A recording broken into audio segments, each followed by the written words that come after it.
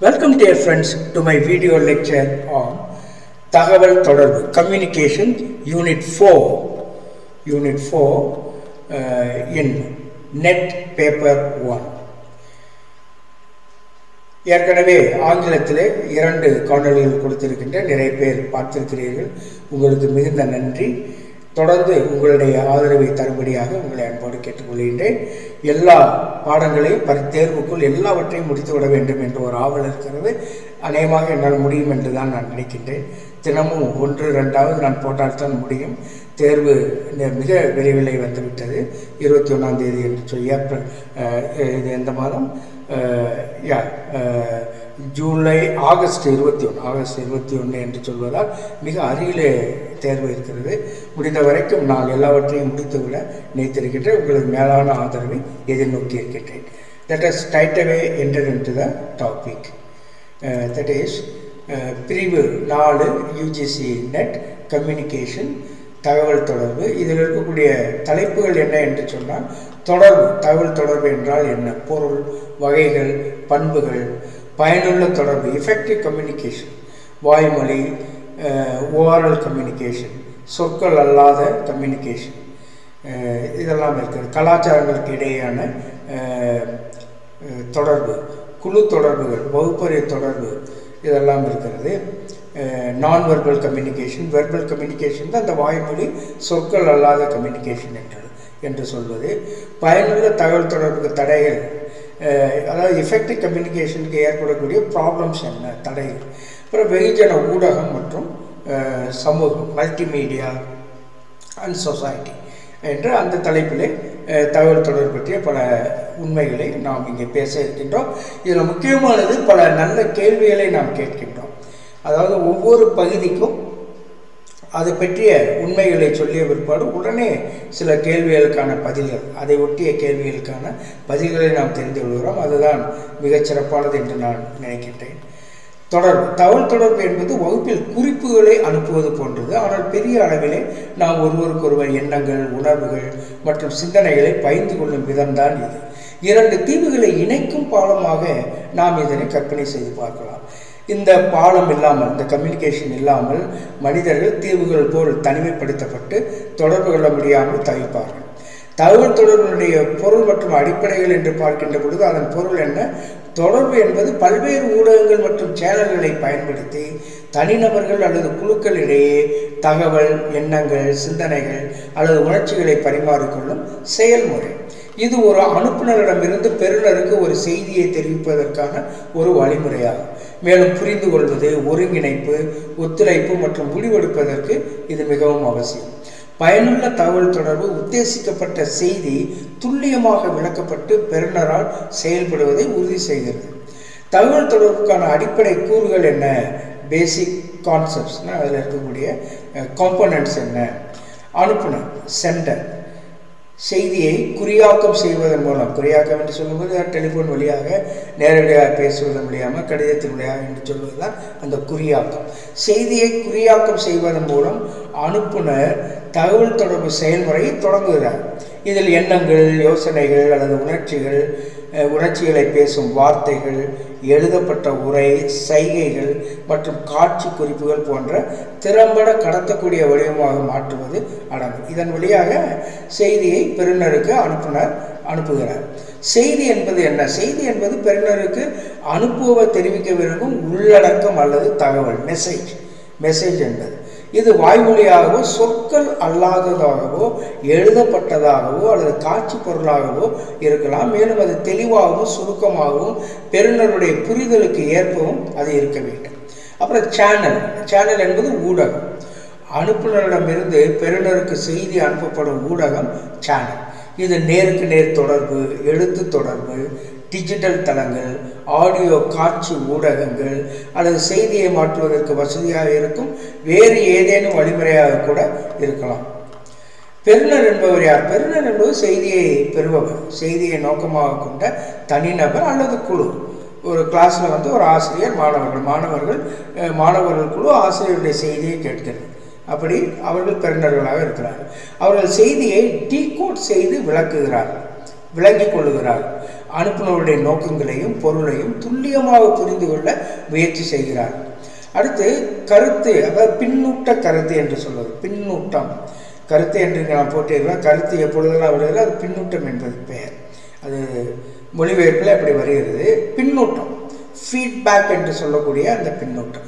பின்னூட்டம் என்பது அனுப்புநருக்கு பெறுநரால் வழங்கப்படும் பதில் அல்லது எதிர்வினை. இது அனுப்புநருக்கு அவர்களுடைய செய்தியுடைய செயல்திறனை அளவிடுவதற்கும் சிறந்த தகவல் தொடர்புக்கு தேவையான மாற்றங்களை செய்வதற்கு அனுமதிக்கிறது. அதாவது அவர்கள் அனுப்பிய தகவல் புரிந்து கொள்ள முடிகிறதா புரியவில்லையா அதை அனுப்புநருக்கு பின்னூட்ட தகவலாக அனுப்பு அனுப்புவது பெருநருடைய வேலை. அதுதான் பின்னூட்ட தகவல் என்று சொல்வது. பெருநர் பெருநர் அதை செய்கிறார். சூழல். சூழல் என்பது கான்டெக்ட் கான்டெக்ட் என்பது அந்த சூழல். சூழல் என்பது தொடர்பு நடைபெறும் சூழ்நிலைகள். உதாரணமாக வகுப்பறை என்றால் வகுப்பறை சூழ்நிலை. அல்லது பிஸ்னஸ் ஃபேம் என்று வைத்துக்கொள்வோம். ஒரு வியாபார தளம் என்றால் அதான் அது சூழல்.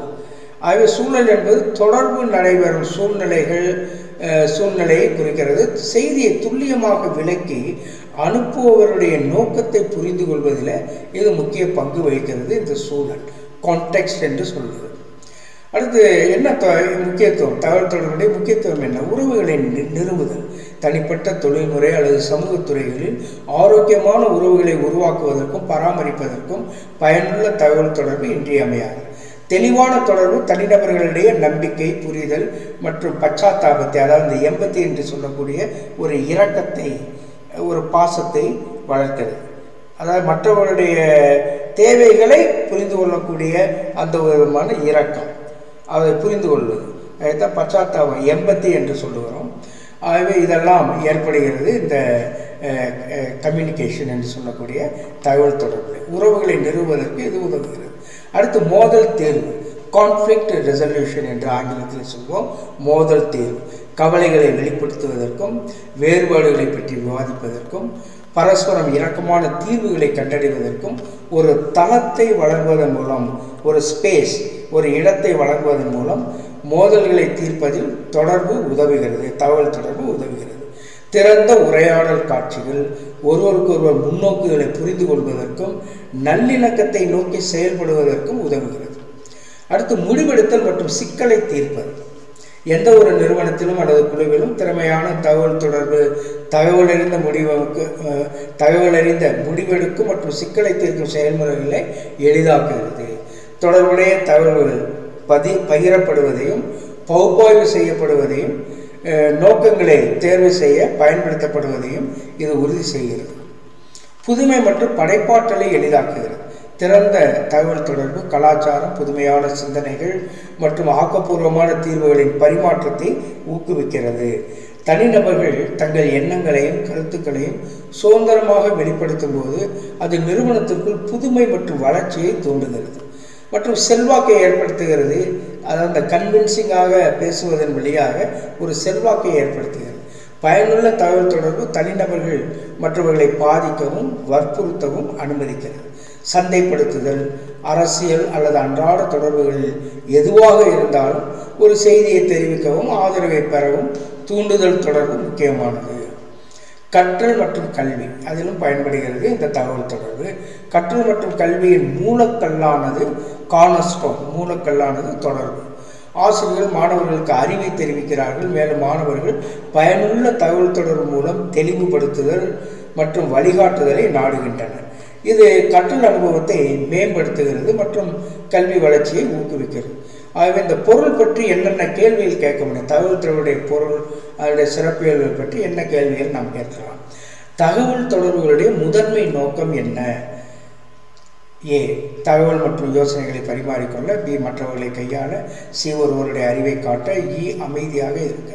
நிச்சயமாக நீங்கள் புரிந்து கொண்டிருப்பீர்கள் முதன்மையான நோக்கம் தகவல் மற்றும் யோசனைகளை அல்லது சிந்தனைகளை பரிமாறிக்கொள்ள. அதுதான் தகவல் தொடர்புடைய நோக்கம். தகவல் சிந்தனைகள் எண்ணங்கள் மற்றும் உணர்வுகளை அனுப்புவருக்கும் பெறுபவருக்கும் இடையே ஒரு பொதுவான புரிதலை பகிர்ந்து கொள்ளும் செயல்முறை. ஒரு ஜென்ரல் அண்டர்ஸ்டாண்டிங் அண்டர்ஸ்டாண்டிங் ரொம்ப முக்கியம். இவர் அனுப்பு அனுப்புனர் அனுப்பக்கூடிய செய்தியை அவர் புரிந்து கொள்ளுகிறார். ஆகவே பொதுவாக அந்த புரிந்து கொள்ளக்கூடிய அந்த விஷயத்தை தான் தொடர்பு என்று சொல்லுகிறோம். அடுத்து சொற்கள் அல்லது தொடர்பு என்றால் என்ன? ஏ வார்த்தைகள் மற்றும் மொழியை பயன்படுத்தி தொடர்பு. பி வார்த்தைகளை பயன்படுத்தாமல் தொடர்பு. சி மேம்பட்ட தொழில்நுட்பத்தை பயன்படுத்தி தொடர்பு. இ எழுதப்பட்ட செய்திகள் மூலம் தொடர்பு. வார்த்தைகளை பயன்படுத்தாமல் தொடர்பு கொள்வது. அதுதான் வந்து சொற்கள் அல்லாத தொடர்பு என்றால் நான் வெர்பல் கம்யூனிகேஷன் என்று ஆங்கிலத்தில் சொல்லுகிறோம். ஆகவே வார்த்தைகளை பயன்படுத்தாமல் தொடர்பு கொள்வது என்பதுதான் சரியான பதில். வாய்மொழி அல்லாத தொடர்பு என்பது சைகைகள் முகபாகங்கள் உடல் மொழி மற்றும் பிற காட்சி செவிமொழி மற்றும் தொற்றுணரக்கூடிய சிக்னல்கள் ஆகியவை பேசப்படும் அல்லது எழுதப்பட்ட சொற்களை பயன்படுத்தாமல் செய்தியை வெளிப்படுத்தப்படும். அதாவது பேசாமலோ எழுதாமலோ வந்து செய்திகள் வழியாக தொடர்பு கொள்வது தான் இந்த நான் வெர்பல் கம்யூனிகேஷன் உடல் மொழியால் செய்வது. அடுத்து தகவல் தொடர்பு செயல்பாட்டில் பெருநருடைய பங்கு என்ன? ஏ செய்தியை குறியாக்கம் செய்யவும் பி செய்தியை அனுப்பவும் செய்தியை டீகோட் செய்யவும் செய்தியை உருவாக்கும். செய்தியை டீகோட் செய்யவும் என்று சொன்னால் அவர் அனுப்ப அவர் பெறக்கூடிய ஒரு முறையிலே ஏதாவது ஒரு முறையிலே அவர் பெற்றுக்கொள்ளுகிறார் விளங்கி கொள்ளுகிறார். அதான் டீகோடிங் என்பது. செய்தியை டீகோடிங் செய்து கொள்ளுகிறார். புரிந்து கொள்ளுகிறார் விளங்கி கொள்ளுகிறார். அதுதான் அதனுடைய அர்த்தம். பெருநருடைய பணியானது அனுப்பியவரிலிருந்து பெறப்பட்ட செய்தியை குறியீடாக்குவது அல்லது அதன் நோக்கத்தை புரிந்து கொள்வதாகும். அவர் எந்த சேனல் வழியாக அனுப்புகிறாரோ அந்த சேனல் வழியாகவே அவர் அதை புரிந்து கொள்வது அதற்கு அதை விளங்கிக் கொள்வது. அதுதான் குறியீடாக்கு செய்தியை குறியாட குறியீடாக்குவது அல்லது அதன் நோக்கத்தை புரிந்து கொள்வது. அடுத்து தகவல் தொடர்புகளிலே கருத்து. அக்கருத்து என்று சொன்னால் இந்த பின்னூட்ட தகவல். அதைத்தான் கருத்து என்று சொல்லுகிறோம். ஏ அனுப்பியவர் அனுப்பிய ஆரம்ப செய்தி. பி பெறுநரால் செய்திக்கு பதில் அல்லது எதிர்வினை. சி ஒரு செய்தியை குறியாக்கம் செய்யும் செயல்முறை. இ ஒரு செய்தியை டீகோட் செய்யும் செயல்முறை.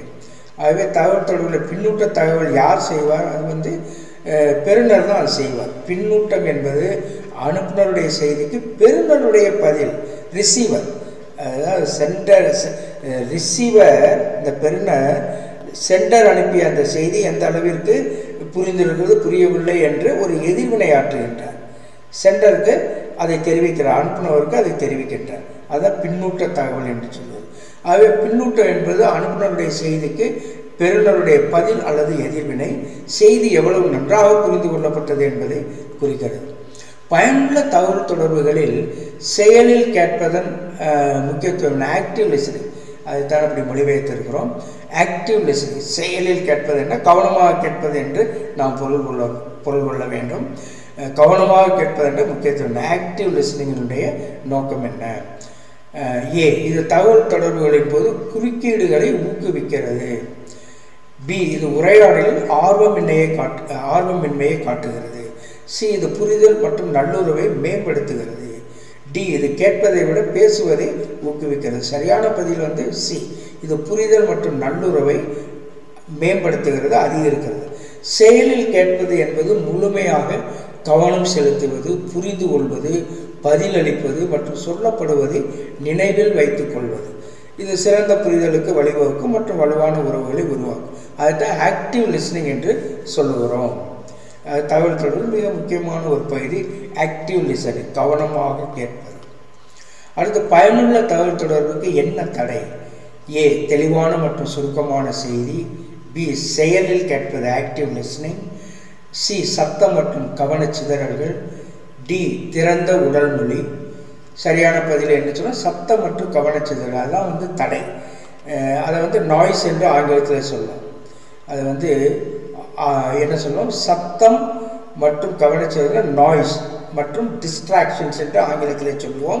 இறைச்சல் மற்றும் கவனச்சிதறல்கள் தகவல் தொடர்பு செயல்பாட்டிலே குறிக்கிடலாம். ஒரு வகுப்பு நடந்து கொண்டிருக்கின்ற பொழுது திடீரென்று வெளியிலிருந்து இசை இசைக்கப்படலாம். ஒரு அருமையான பாடல் ஒன்று ஒரு சினிமா பாடல் ஒன்று இசைக்கப்படலாம். அப்பொழுது மாணவர்களுடைய அந்த தகவல் தொடர்புக்கு ஊறு விளைவிக்கும். ஏன்னா ஆசிரியர் சொல்வதை மாணவர்கள் கேட்காமல் அந்த பாடலை கேட்டுக்கொண்டிருப்பார்கள். பகல் கனவிலே ஈடுபட்டு கொண்டிருப்பார்கள்.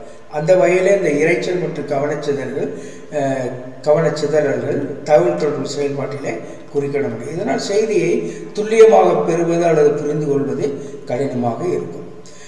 தகவல் தொடர்புகளிலே சேனல் சேனல் அதாவது ஊடகம் எதை குறிக்கிறது? ஏ பெறுபவருடைய உணர்ச்சி நிலை பி செய்தியை அனுப்ப பயன்படும் ஊடகம் அல்லது முறை சி அனுப்புநருடைய கலாச்சாரம் இ செய்தியில் பயன்படுத்தப்படும் மொழி. அதனால் செய்தி அனுப்ப பயன்படும் ஊடகம் அல்லது முறையைத்தான் சேனல் என்று சொல்லுகிறோம். தகவல் தொடர்பில் கம்யூனிகேஷனில் சேனல் என்று சொல்லுகிறோம். செய்தியை அனுப்ப பயன்படும் ஊடகம் அல்லது முறை. சேனல் என்பது நேருக்கு நேர் எழுதப்பட்ட மின்னணு அல்லது பிற வடிவங்கள் போன்ற ஒரு செய்தியை அனுப்பும் வழிமுறை. அது வந்து நேரடியாக பேசுவது அல்லது மின்னணு வழியாக இமெயில் வழியாக கடிதத்தின் வழியாக இப்படி பல வடிவங்கள் வழியாக செய்தி அனுப்பும் வழிமுறையைத்தான் ஊடகம் என்று சொல்லுகிறோம். அடுத்து பயனுள்ள தகவல் தொடர்புக்கான முக்கிய பண்பு என்ன? பயனுள்ள தகவல் தொடர்புக்கான முக்கிய பண்பு. ஏ இது ஒரு வழி பரிமாற்றம். பி தெளிவின்மை மற்றும் குழப்பம். சி செழிவு தெளிவு மற்றும் புரிதல். டி வாசகங்களை அதிகமாக பயன்படுத்துதல். தெளிவு மற்றும் புரிதல். பயனுள்ள தகவல் தொடர்புக்கான முக்கிய பண்பு. What is the you know the best characteristic of கம்யூனிகேஷன்னா அது நிச்சயமாக தெளிவு மற்றும் புரிதல். கிளாரிட்டி கிளாரிட்டி யூனோ தெளிவு கிளாரிட்டி அண்ட் அண்டர்ஸ்டாண்டிங் பயனுள்ள தகவல் தொடர்பு செய்தி தெளிவாகவும் எளிதில் புரிந்து கொள்ளக்கூடியதாகவும் அனுப்புவோருக்கும் பெறுநருக்கும் இடையே பகிரப்பட்ட புரிதலுக்கு வழிவகுப்பு என்பதை உறுதி செய்கிறது. எழுதப்பட்ட தகவல் தொடர்புகளுடைய முதன்மை நோக்கம் என்ன? ரிட்டன் கம்யூனிகேஷனுடைய முதன்மை நோக்கம். ஏ தொனி மற்றும் உடல் மொழியை வெளிப்படுத்த. பி உடனடி கருத்துக்களை பகிர்ந்து கொள்ள. சி நிரந்தர பதிவேடு வழங்குவதற்கு. டி நேருக்கு நேர் தொடர்புகளை ஊக்குவிக்கிறதுக்கு. அதாவது எழுதப்பட்ட தகவல் தொடர்புடைய முதன்மை நோக்கம் நிரந்தர பதிவு. ஏன்னா அதாவது கழுத்து பிடி கொடு கொடுத்தாலும் எழுத்து பிடி கொடுக்காதே என்று பழமொழி சொல்வார். அதாவது கழுத்து பிடி கொஞ்ச நாளில் மறந்துடலாம். அல்லது ரெண்டு பேரும் சமாதானமாக கூட போயிடலாம். ஆனால் ஏதாவது ஒரு பிரச்சனையில் எழுத்துப்பிடி கொடுத்து விட்டோம் என்று சொன்னால் அது பல்வேறு அதாவது நிரந்தரமாக அந்த எழுத்துப்பிடி இருக்கும். அதனால் எண்ணற்ற துன்பங்களை ஒரு மனிதன் அனுபவிக்க வேண்டியிருக்கும் அதுதான் அந்த நிரந்தர பதிவை வழங்கும். சில சமயம் தெரியாமல் செய்து விடுவார்கள்.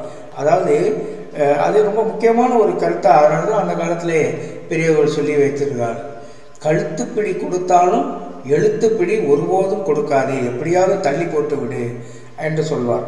எழுதப்பட்ட தகவல் தொடர்பு தகவலுடைய நீடித்த பதிவை உருவாக்குகிறது. அதாவது எதை எழுதி வைத்தோம் என்று சொன்னால் அந்த தகவல் வந்து நீடித்த பதிவை உருவாக்குகிறது. அது நல்லதும் இருக்குது. அதாவது நான் ஒரு பழமொழிக்காக சொன்னேன் ஆனால் எழுத்து பதிவு என்பது உதாரணமாக ஒரு ஹிஸ்ட்ரி ஆஃப் தி இன்ஸ்டிடியூஷன் என்று வைத்துக்கொள்ளும் ஒரு நிறுவனத்தினுடைய வரலாறு. அதை எழுதி வைப்பது ஒரு ஐம்பது ஆண்டுகளுக்கு பின்னால் அந்த நிறுவனத்தினுடைய வளர்ச்சியை சுட்டிக்காட்டக்கூடிய ஒரு நிறைவான ஒரு நீடித்த பதிவை உருவாக்கும். அப்படி எழுதி வைப்பது. அதாவது இந்த ஹிஸ்டரி ஆஃப் தி இன்ஸ்டிடியூஷன் இந்த கல்வி நிறுவனத்தினுடைய வரலாறு. அது இது வந்து நீடித்த பதிவை உருவாக்கும். ஆகவே நன்றாக அதை புரிந்து கொள்வோம். தகவல் தொடர்புகளில் கலாச்சார விழிப்புணர்வுடைய பங்கு என்ன? ஏ ஒரு சீரான செய்திக்கு கலாச்சார வேறுபாடுகளை புறக்கணித்தல் கலாச்சார விழிப்புணர்வு. பி பல்வேறு கலாச்சாரங்களுக்குடன் கல் கலாச்சாரங்களுக்கிடையே தொடர்பை தவிர்ப்பது சி கலாச்சார வேறுபாடுகளை புரிந்து கொள்வது மற்றும் மதிப்பது டி ஒருவருடைய கலாச்சாரத்தை மற்றவர்கள் மீது திணிப்பது. எது சரியான பதில்? கலாச்சார வேறுபாடுகளை புரிந்து கொள்வது மற்றும் மதிப்பது. கலாச்சார விழிப்புணர்வு கலாச்சாரம் மொழி விதிமுறைகள் மற்றும் மதிப்புகள் ஆகியவற்றில் உள்ள வேறுபாடுகளை புரிந்து கொள்வதற்கும் மதிப்பதற்கும் உதவுகிறது. பல்வேறு குழுக்களிடையே பயனுள்ள தகவல் தொடர்புகளை செயல்படுத்துகிறது. தகவல் தொடர்புகளுடைய முதன்மை நோக்கம் என்ன? தகவல் தொடர்புடைய முதன்மை நோக்கம். Primary objective of communication A தகவல் பரிமாற்றம். பி மற்றவர்களை கையாளுதல். சி பார்வையாளர்களை குழப்புவது. டி அமைதியாக இருப்பது. தகவல்களை பரிமாறிக்கொள்ளாதான் அடிப்படையான ஒரு உள்நோக்கம். தகவல் சிந்தனைகள் அல்லது உணர்ச்சிகளை தனி நபர்களுக்கிடையில் தெரிவிப்பதற்கான ஒரு வழிமுறையாக தொடர்பு இருக்கின்றது. பின்வருவனவற்றில் எது சொற்கள் அல்லாத தகவல் தொடர்பு வடிவம்? சில எடுத்துக்காட்டுகள் தரப்பட்டிருக்கின்றன. இதில் எது சொற்கள் அல்லாத தகவல் தொடர்பு வடிவம்?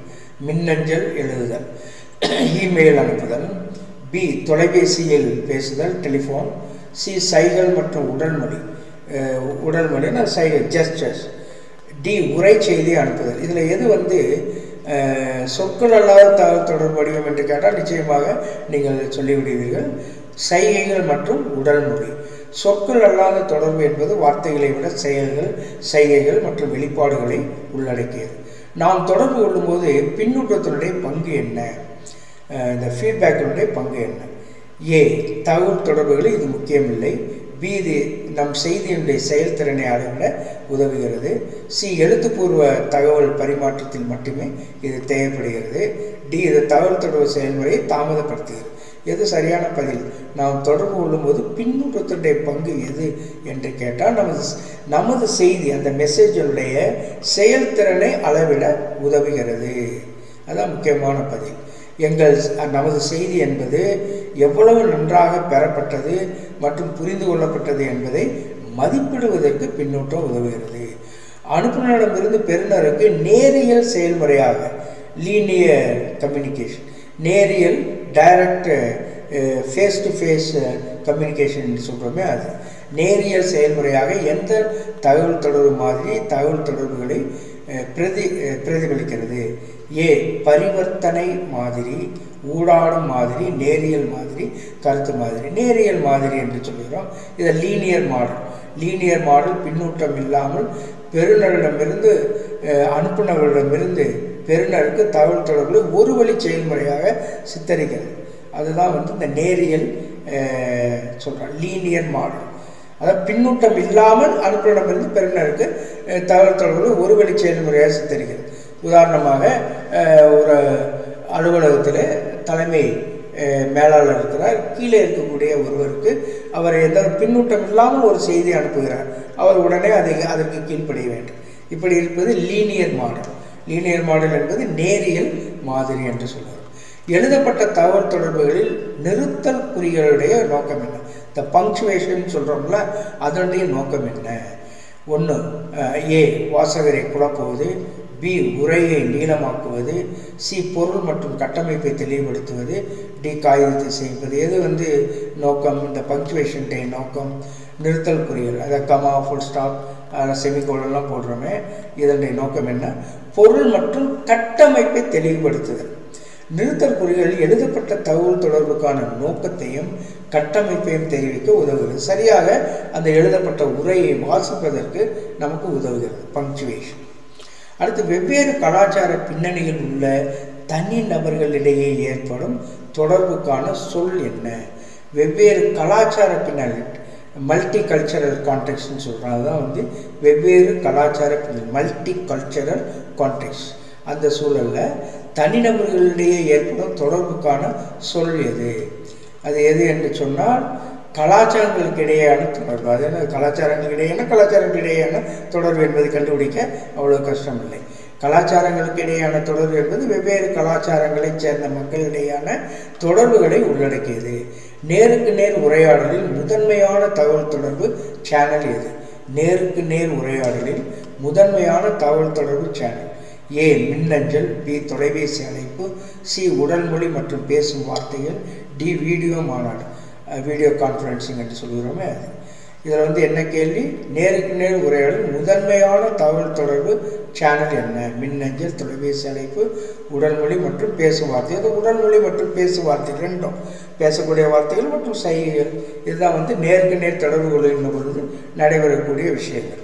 ஆகவே நேருக்கு நேர் தொடர்பு கொள்வதிலே முதன்மையான வழிகள் வாய்மொழி மற்றும் சொற்கள் அல்லாத குறிப்புகள் ஆகும் பின்வருவனவற்றில் எது தகவல் தொடர்பு செயல்முறையினுடைய ஒரு அங்கமாக இல்லை. அதாவது இது ஒரு பாட்டாக இல்லை ஒரு பகுதியாக இல்லை. அது எது?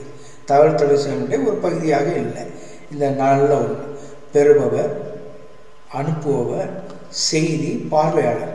பார்வையாளர்களுக்கு இங்கே வேலை. தகவல் தொடர்பு இரண்டு பேருக்கு இடையே நடக்கிறது அல்லது ஒருவருக்கும் ஒரு குழுவிற்கும் இடையே நடக்கிறது. பார்வையாளர்கள் வெறுமனை பார்த்து கொண்டிருப்பவர்கள். ஆகவே பார்வையாளர்கள் பொதுவாக தகவல் தொடர்பு செயல்முறையுடைய ஒரு அங்கமாக கருதப்படுவதில்லை. ஏன்னா நிச்சயமாக அதை புரிந்து கொள்வீர்கள். இது ஒரு வெளிப்புற காரணம். அதாவது பார்வையாளர்கள் ஒரு வெளிப்புற காரணம். எந்த விதத்திலும் இந்த தகவல் தொடர்பு அமைப்பு முறையிலே வரமாட்டார்கள் பார்வையாளர். எந்த வகையான தகவல் தொடர்பு என்பது செய்திகளை தெரிவிக்க போக்குவரத்து அறிகுறிகள் அல்லது எமோஜிகள் போன்ற குறியீடுகள் மற்றும் அடையாளங்களை பயன்படுத்துவதை உள்ளடக்கியது. எந்த வகையான தகவல் தொடர்பு என்பது செய்திகளை தெரிவிக்க போக்குவரத்து அறிகுறிகள் மற்றும் எமோஜிகள் போன்ற குறியீடுகள் இந்த ஸ்டாப் அப்படின்னு சொல்கிறோம் அல்லது இந்த எல்லோ லைட்னா அது போன்ற விஷயங்கள்லாம் இருக்குது அதெல்லாம் சொற்கள் அல்லாத ஒரு தொடர்பை ஏற்படுது நெல் கவனி செல் ரெட் லைட் இருக்குது க்ரீன் லைட் இருக்குது எல்லோ லைட்லாம் டிராஃபிக்கில் இருக்குது அதெல்லாம் ஒரு ஒரு தொடர்பை ஏற்படுத்துகிறது அது போயிட்டு இருக்கக்கூடிய அந்த அந்த ரோட்டை பயன்படுத்துவதற்கும் ஒரு ஒரு ஏதோ ஒரு குறியீட்டை அது தந்து ஒரு தொடர்பை ஏற்படுத்தியது ஆகவே எ- எது என்று கேட்டு எந்த தொடர்பு எந்த வகையான தகவல் தொடர்பு என்பது செய்திகளை தெரிவிக்க போக்குவரத்து அறிவுகள் எமோஜிகள். நிச்சயமாக நீங்கள் சொல்லிவிடுவீர்கள் அது என்ன என்று சொன்னால் குறியீட்டு தொடர் குறியீட்டு தொடர் எல்லோ லைட் அப்படின்னா வந்து கொஞ்சம் நிற்கணும் ரெடியாக ரெடியாக இருங்க போகிறதுக்கு ரெட் லைட்னால் நிற்கணும் க்ரீன் லைட்லாம் போகலாம் அது குறியீட்டு தொடர்பை குறிப்பிடுகிறது. குறியீட்டு தொடர்பு அர்த்தத்தை வெளிப்படுத்த குறியீடுகள் மற்றும் அடையாளங்களை சார்ந்திருக்கிறது. சுய பேச்சு மற்றும் தனிப்பட்ட பிரதிபலிப்பை உள்ளடக்கிய ஒரு தனிநபருடைய மனதில் ஏற்படும் தொடர்புக்கான சொல் என்ன? சுய பேச்சு. தானாக பேசிக்கொள்வது எந்த வகையான இது இதில் அதில் மொழிபெயர்ப்பதில் சில பிரச்சனை இருக்குது இன்டர்பர்சனல்னா ஒருவர் மற்றவரோடு கொள்ளக்கூடிய உறவு தான். அதில் ரெண்டும் தனிப்பட்ட உறவு தொடர்பு தனிப்பட்ட தொடர்பு என்று குறிக்கிறது குறிக்கிறது. ஆனால் அதன் உண்மையான அர்த்தம் என்ன என்று சொன்ன ஆங்கிலத்தில் சொல்லுகின்ற பொழுது இன்டர்பர்சனல் அப்படின்னா இருவருக்கு இடையேயான பரஸ்பர தகவல். இன்ட்ரா பர்சனல்னா தனக்குத்தானே சொல்லக்கூடிய ஒரு தொடர். ஆகவே அந்த டிரான்ஸ்லேஷனை பற்றி கவலைப்பட வேண்டாம். கான்செப்டை புரிந்து கொள்ளும். அதாவது சுய பேச்சு மற்றும் தனிப்பட்ட பிரதிபலை உள்ளடக்கி ஒரு தனிநபருடைய மனதில் ஏற்படும் தொடர்புக்கான சொல் என்ன என்று சொன்னால் அது தனிப்பட்ட தொடர். அதாவது தானாக பேசி கொள்ளுகின்ற பேசிக்கொண்டு ஒரு தொடர்பை ஏற்படுத்தி கொள்வது. அதாவது அந்த கணக்கு போடுகின்ற பொழுது சொல்லிக்கொண்டே கணக்கு போடுவார். அல்லது அந்த மேப்பை வந்து குறிக்கின்ற பொழுது தானாக தம் மனதிலிருந்து பெறக்கூடிய அந்த அறிவிலிருந்து மூளையிலிருந்து பெறக்கூடிய அந்த அறிவிலிருந்து சரியான அந்த இடத்தை தொடுவார். இது தனக்குத்தானே சொல்லக்கூடிய ஒரு தொடர்பாக இருக்கும். தனிப்பட்ட தொடர்பு என்று சொல்லலாம். இது இந்த தனக்குத்தானே சொல்லக்கூடிய இந்த தொடர்பு என்பது எண்ணங்கள் மற்றும் சுய பிரதிபலிப்பு ஆகியவற்றை உள்ளடக்கிய தன்னுடன் தொடர் தன்னுடன் தொடர்பு உள்ளது. குறிக்கிறது அது பேர் இன்ட்ரா இன்ட்ரா பர்சனல் அப்படின்னு சொல்றது. இன்டர் பர்சனல்னால் ரெண்டு பேருக்கு இடையே தகவல். இன்ட்ரா பர்சனல்னா பர்சனல் இன்ட்ரா பர்சனல் அப்படின்னா தனியாக பேசிக்கொள்வது தான் intra I N T R A inter E e சேர்த்துட்டோம்னா இன்டர் பர்சனல்னால் ரெண்டு பேருக்கு இடையேயான தகவல் தொடர்பு. அதை நன்றாக புரிந்து கொள்வோம். தொடர்பு என்றால் என்ன? ஏ பேசப்படும் அல்லது எழுதப்பட்ட வார்த்தைகள் மூலம் செய்திகளை அனுப்புதல். தனிநபர்கள் மற்றும் குழுக்களிடையே கருத்துக்கள் எண்ணங்கள் மற்றும் தகவல் பரிமாற்றம். சி உடல் மொழி மற்றும் முகபாவனைகள் போன்ற சொற்கள் அல்லாத குறிப்புகளுடைய விளக்கம். டி தகவலை தெரிவிப்பதற்கான காட்சி விளக்க காட்சிகளை உருவாக்கும் செயல்முறை. இது சரியான பதில் என்ன என்று கேட்டால் தனிநபர்கள் அல்லையே அல்லது குழுக்களிடையே கருத்துக்கள் எண்ணங்கள் அல்லது தகவல் பரிமாற்றம். அதுதான் வந்து தகவல் தொடர்பு என்றால் அதான் அர்த்தம். தகவல் யோசனைகள் அல்லது எண்ணங்களை தனிநபர்கள் அல்லது குழுக்களுடைய பல்வேறு வாய்மொழி சொற்கள் அல்லாத அல்லது எழுதப்பட்ட வழிமுறைகள் மூலம் பரிமாற்றம் செய்வதை தொடர்படுத்துகிறது. தகவல் என்பது. பின்வருவனவற்றில் எது சொற்கள் அல்லாத தகவல் தொடர்பு? வடிவம்.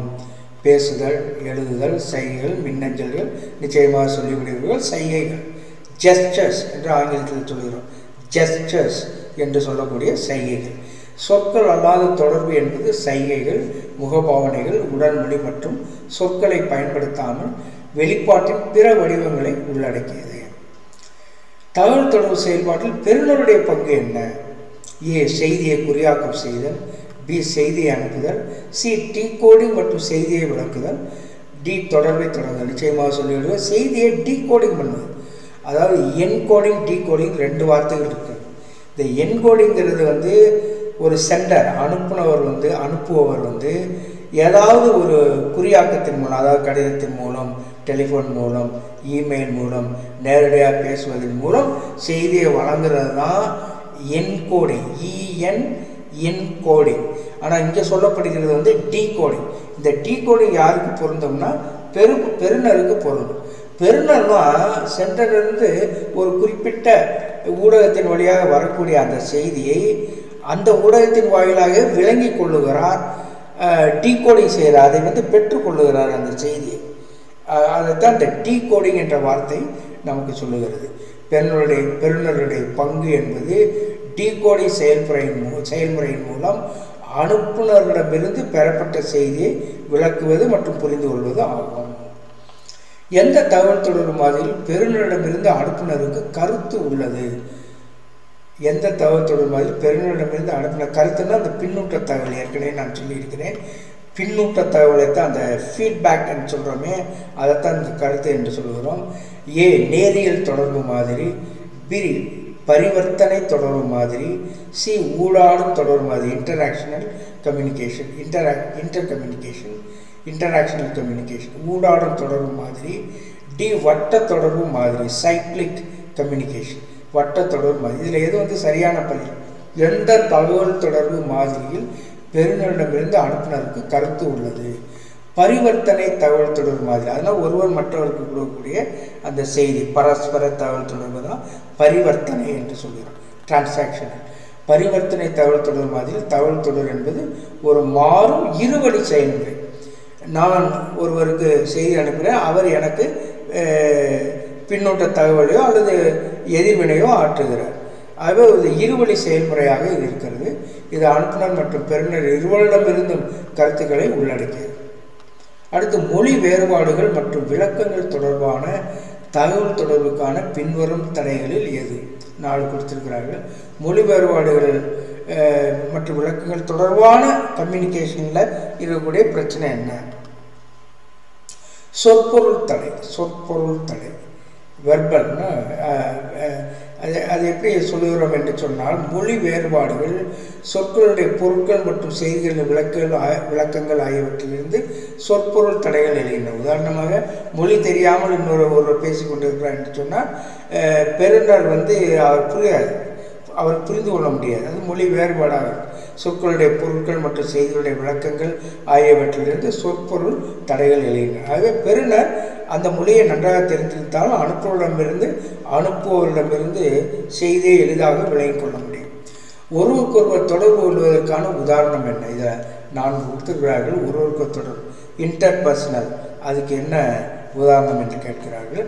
ஏன் அனைத்து ஊழியர்களுக்கும் ஒரு குறிப்பை அனுப்புதல். பி ஒரு பெரிய பார்வையாளர்களுக்கு ஒரு விளக்க காட்சியை வழங்குதல். சக ஊழியர் ஒருவருக்கொருவர் உரையாடல். டி வானொலியில் ஒரு செய்தியை ஒளிபரப்புதல்.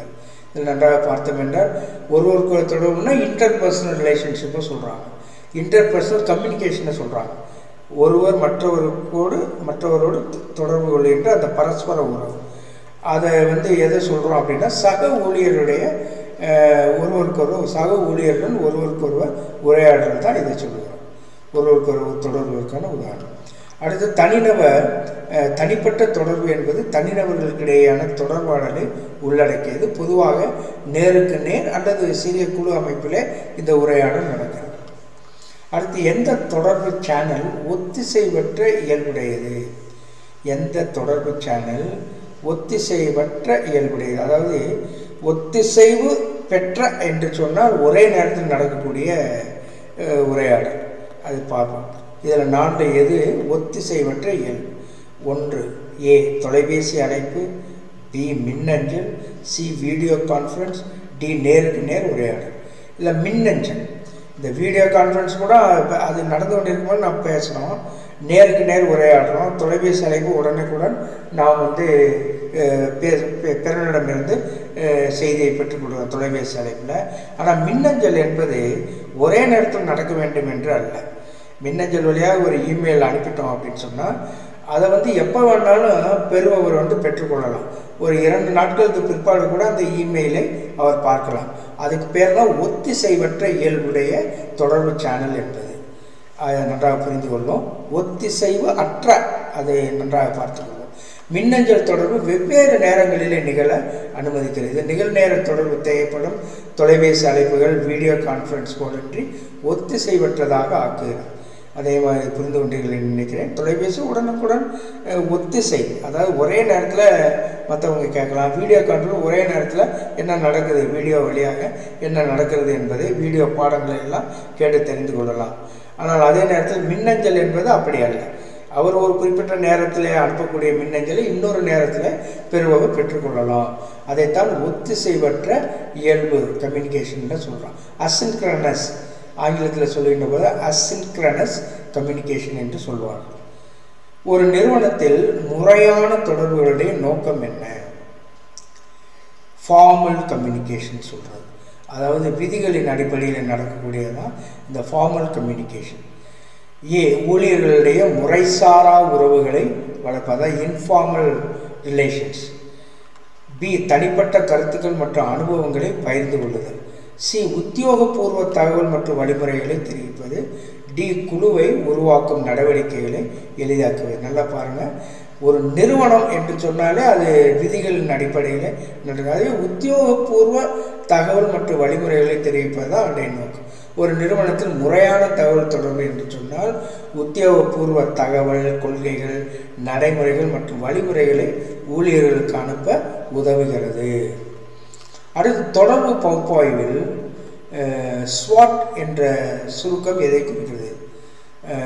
அதாவது இந்த தகவல் தொடர்பு அனாலிசிஸ் கம்யூனிகேஷன் அனாலிசிஸில் இன்ஃபர்மேஷன் அனாலிசிஸ் அதுக்கான கம்யூனிகேஷன் அனாலிசிஸில் ஸ்வாட் அப்படின்னு சொல்லக்கூடிய அந்த வார்த்தை எதை குறிக்கிறது? எஸ் என்பது என்ன? டபிள்யூ என்பது என்ன? ஓ என்பது என்ன? டி என்பது என்ன? இதை முதல் இதை பார்த்தாலே கண்டுபிடிச்சிடலாம். அது எஸ் என்பது பலம். ஸ்ட்ரென்த் டபிள்யூ என்பது வீக்னஸ் பலவீனங்கள். ஓ என்பது ஆப்பர்ச்சுனிட்டிஸ் வாய்ப்புகள். டி என்பது த்ரெட்ஸ் த்ரெட்ஸ் என்பது அச்சுறுத்தல். அந்த முதல்ல உள்ளதான் சரியானதாக இருக்கும். மற்றது நம்ம குழப்புவதற்காக கொடுக்கக்கூடிய வார்த்தை. பலங்கள் பலவீனங்கள் வாய்ப்புகள் அச்சுறுத்துதல்கள். அதாவது strengths weaknesses opportunities and threats அதுதான் வந்து ஷார்ட் அனாலிசிஸ் என்று சொல்வார்கள். பெரும்பாலும் இது எல்லா நிறுவனங்களிலும் நன்றாக நடைபெறக்கூடிய எல்லா நிறுவனங்களிலும் இது கண்டிப்பாக இந்த அனாலிசிஸ் இருக்கும். தொடர்பு பகுப்பாய்வில் இந்த ஸ்வாட் அனாலிசிஸ் என்பது இருக்கும். பலம் மற்றும் பலவீனங்கள் வாய்ப்புகள் மற்றும் அச்சுறுத்தல்கள் அச்சுறுத்துதல்கள். ஒத்துழைப்பு மற்றும் உறவை கட்டியெழுப்புவதில் எந்த தொடர்பு பாணி கவனம் செலுத்துகிறது? ஒத்துழைப்பு மற்றும் உறவை கட்டி எழுப்புவதில் எந்த தொடர்பு பாணி கவனம் செலுத்துகிறது? ஏ. உறுதியான பி. ஆக்கிரமிப்பு சி. செயலற்றது டி. கூட்டுப்பணி. ஒத்துழைப்பு என்று சொன்னாலும் இரண்டு மூன்று பேரோடு சேர்ந்து செய்வதான ஒத்துழைப்பு. அது கூட்டுப்பணி. கொலாபரேஷன் கொலாபரேஷன் அதனால் எந்த தொடர்பு பாணி? அது கொலாபரேட்டிவ் கம்யூனிகேஷன் கூட்டுப்பணி. கூட்டு தொடர்பு பாணியானது ஒன்றிணைந்து பணியாற்றுதல் ஒத்துழைத்தல் மற்றும் சம்பந்தப்பட்ட அனைத்து தரப்பினருக்கும் பரஸ்பர நன்மை பயக்கும் தீர்வுகளை கண்டறிவதை வலியுறுத்துகிறது. அடுத்து பின்வருவனவற்றில் எது தகவல் தொடர்பு? முக்கிய உறுப்பு அல்ல. நாளில் வந்து ஒன்று வந்து அந்த தகவல் தொடர்புடைய அமைப்பில் வராது. அது எது? ஏ அனுப்புபவ பி பெறுபவ சி கருத்து. கருத்து என்பது பின்னூட்டம். டி என்பது அமைதி. நிச்சயமாக அமைதி என்பது அந்த கம்யூனிகேஷன் சைக்கிளில் அந்த கம்யூனிகேஷன் அமைப்பில் இடம்பெறாது. ஆகவே மௌனம் என்பது தொடர்புடைய ஒரு அங்கம் அல்ல. அது இருக்காது. வாய்மொழி தொடர்புகளில் குறியீடு என்ற சொல் எதை குறிக்கிறது? வாய்மொழி தொடர்புகள் ஓரல் கம்யூனிகேஷனில் குறியீடு என்ற சொல் எதை குறிக்கிறது? சேனல் செய்தியை டீ கோடிங் செய்தல். சொற்களற்ற குறிப்புகளுடைய பயன்பாடு எண்ணங்களை வார்த்தைகளாக மாற்றுதல் கவனத்துடன் கேட்பது. இந்த எண்ணங்களை வார்த்தைகளாக மாற்றுவது தான் இந்த குறியாக்கம் என்பது. அதை கடிதத்தின் வழியாக டெலிஃபோன் வழியாக இமெயில் வழியானா நம்முடைய எண்ணத்தை வந்து வார்த்தைகளாக போடுறாங்க தான் குறியாக்கம் என்று சொல்வது. என்கோடிங். என்கோடிங் அப்படிங்கிறது அந்த குறியாக்கம் இங்கே. என்கோடிங். டீ கோடிங்னா பெற்றுக்கொள்ளுது குறியாக்கம் என்பது இந்த என்கோடிங் என்பது ஒருவருடைய எண்ணங்களையும் எண்ணங்களை சிந்தனைகளை வார்த்தைகளாக அல்லது குறியீடுகளாக மாற்றும் செயல் என்கோடிங் என்பது. உங்கள் உடல் மொழி மற்றும் முக பாவனைகளுடன் தொடர்பு கொள்ளும்போது எந்த வகையான தொடர்பு ஏற்படுகிறது? உங்கள் உடல் மொழி மற்றும் முகப்பானை ஃபேஷியல் எக்ஸ்பிரஷன்ஸ் அது மற்றும் பாடி லாங்குவேஜ்னால் பாடி லாங்குவேஜ் ஃபேஷியல் எக்ஸ்பிரஷன்ஸ் என்று சொல்கிறோமே அது எந்த வகையான தொடர்பு என்று கேட்கிறார்கள்? ஏ வாய்மொழி தொடர்பு பி சொற்கள் அல்லாத தொடர்பு சி எழுதப்பட்ட தொடர்பு டி காட்சி தொடர்பு. நிச்சயமாக சொற்கள் அல்லாத தொடர்பு ஏற்கனவே அதை நாம் விளக்கி சொல்லிவிட்டோம். சொற்கள் அல்லாத தொடர்பு என்பது உடல் மொழி மற்றும் முக பாவனைகளை பாவனைகளை உள்ளடக்கியது. தகவல் தகவல் தொடர்பு செயல்பாட்டில் பின்னூட்டத்தினுடைய முதன்மை நோக்கம் என்ன? தகவல் தொடர்பு செயல்பாட்டிலே பின்னூட்டத்தினுடைய முதன்மை நோக்கம். ஏ செய்தியை மேலும் சிக்கலாக்க பி தகவல் தொடர்பு குறுக்கிட சி புரிதலை தெளிவுபடுத்த டி செய்தியை சிக்கலாக்க. சி புரிதலை தெளிவுபடுத்த. பின்னூட்டம் புரிதலை பின்னூட்டம் என்பது புரிதலை தெளிவுபடுத்த உதவுகிறது. அதாவது இப்போ தெரிய ஒரு செய்தி அனுப்பப்பட்ட செய்தி புரிந்ததா புரியவில்லையா என்று சொல்வது மேலும் அந்த புரிதலை தெளிவுபடுத்த உதவுகிறது. மற்றும் செய்தி துல்லியமாக பெறப்படுவதை உறுதி செய்கிறது. சரியாக செய்தியை பெற்றுக்கொள்வதற்கு உதவி செய்கிறது. விரிவான தொழில்நுட்ப தகவல்களை அதிக பார்வையாளர்களுக்கு தெரிவிக்க எந்த தொடர்பு சேனல் மிகவும் பொருத்தமானது? விரிவான தொழில்நுட்ப தகவல்களை அதிக பார்வையாளர்களுக்கு தெரிவிக்க எந்த தொடர்பு சேனல் மிகவும் முக்கியமானது? ஏ நேருக்கு நேர் பி தொலைபேசி சி மின்னஞ்சல் சி சமூக தொடர்பு. நாம் நல்ல அருமையான கேள்வி. விரிவான தொழில்நுட்ப தகவலை தெரிவிப்பதற்கு அதிக பார்வையாளர்களுக்குன்னா அது வந்து மின்னஞ்சல் தான் சரியான பதிலாகும். ஏன்னா இமெயிலில் எத்தனை பேருக்கு வேணாலும் நம்ம அனுப்ப முடியும். மின்னஞ்சலானது விரிவான தொழில்நுட்ப தகவல்களை அதிக பார்வையாளர்கள் தெரிவிப்பதற்கான ஒரு பயனுள்ள சேனல் ஊடகம். தனிப்பட்ட மற்றும் அதாவது அதாவது ஏற்கனவே நான் சொன்னேன் இன்டர் பர்சனல் இன்ட்ரா பர்சனல் இரண்டுக்கும் உள்ள தொடர்பு என்னன்னு கேட்டுக்காரு. தனத்தானே பேசிக்கொள்வது தான் மற்றவருடன் பேசிக்கொள்வது ரெண்டுக்கும் வித்தியாசம் இருக்குது. அது என்ன வித்தியாசம் என்று கேட்கிறார். ஏ அவர்கள் அதே விஷயம் விஷயத்தை பேசுகிறார்கள். இன்டர்பர்சனல் என்பது தன்னுடன் தொடர்பு கொள்வதை இன்ட்ராபர்சனல் இது சரியாக அதை மொழிபெயர்க்கவில்லை. இன்ட்ராபர்சனல் என்பது தன்னுடன் தொடர்பு கொள்வது உள்ளடக்குகிறது. அதே சமயம் இன்ட்ராபர்சனல் என்பது இன்டர்பர்சனல் என்பது இரண்டு அல்லது அதற்கு மேற்பட்ட நபர்களுக்கு அதாவது நான்கு இது சொல்லுகிறார்கள். நான்கு அதில் எது சரியானது என்று சொன்னால் சி இன்ட்ரா பர்சனல் என்பது தன்னுடன் தொடர்பு கொள்வதை உள்ளடக்கியது. ஆகவே இன்ட்ரா பர்சனல் என்பது தனிப்பட்ட தொடர்பு என்பது சுய பேச்சு தனிப்பட்ட தொடர்பு என்பது மக்களிடையேயான அதாவது தன்னு தானாக பேசிக்கொள்வது சுய பேச்சு தனிப்பட்ட தொடர்பு என்று அதை நான் சொல்வேன் இது மொழியாக்கம் சரியாக இல்லை. இருந்தாலும் சரியாக புரிந்து கொள்ள இன்ட்ரா பர்சனல் இன்ட்ரா பர்சனல் என்பது சுய பேச்சு தனிப்பட்ட தொடர்பு என்பது சுய பேச்சு. அடுத்து பயனுள்ள தகவல் தொடர்பு சூழலில் கிஸ் என்ற சுருக்கம் எதை குறிக்கிறது? கிஸ்னா K I S S keep it simple silly அதை வந்து வெஸ்டர்னர்ஸ் மேற்கத்தியவர்கள் பேசக்கூடிய ஒரு ஒரு ஃப்ரேஸ் போன்றது. கீப் இட் சிம்பிள் சில்லி அதாவது ரொம்ப சுருக்கமாக பேசும் அப்படின்னு சொல்லக்கூடிய ஒரு சொற்றொடர். கீப் இட் சிம்பிள் சில்லி என்று சொல்வார். கிஸ் என்பது கீப் இட் சிம்பிள் சில்லி என்பதனுடைய சுருக்கம். இது தெளிவான மற்றும் நேரடியான தகவல் தொடர்புக்கான அவசியத்தை வலியுறுத்துகிறது. அடுத்து இப்போ தொடர்பு வகைகளை பார்ப்போம். என்னென்ன தொடர் தகவல் தொடர்பு வகைகள் இருக்கின்றன. வாய்மொழி தொடர்பு இருக்கிறது. இது தகவலை பகிர வார்த்தைகளை பயன்படுத்துகிறது.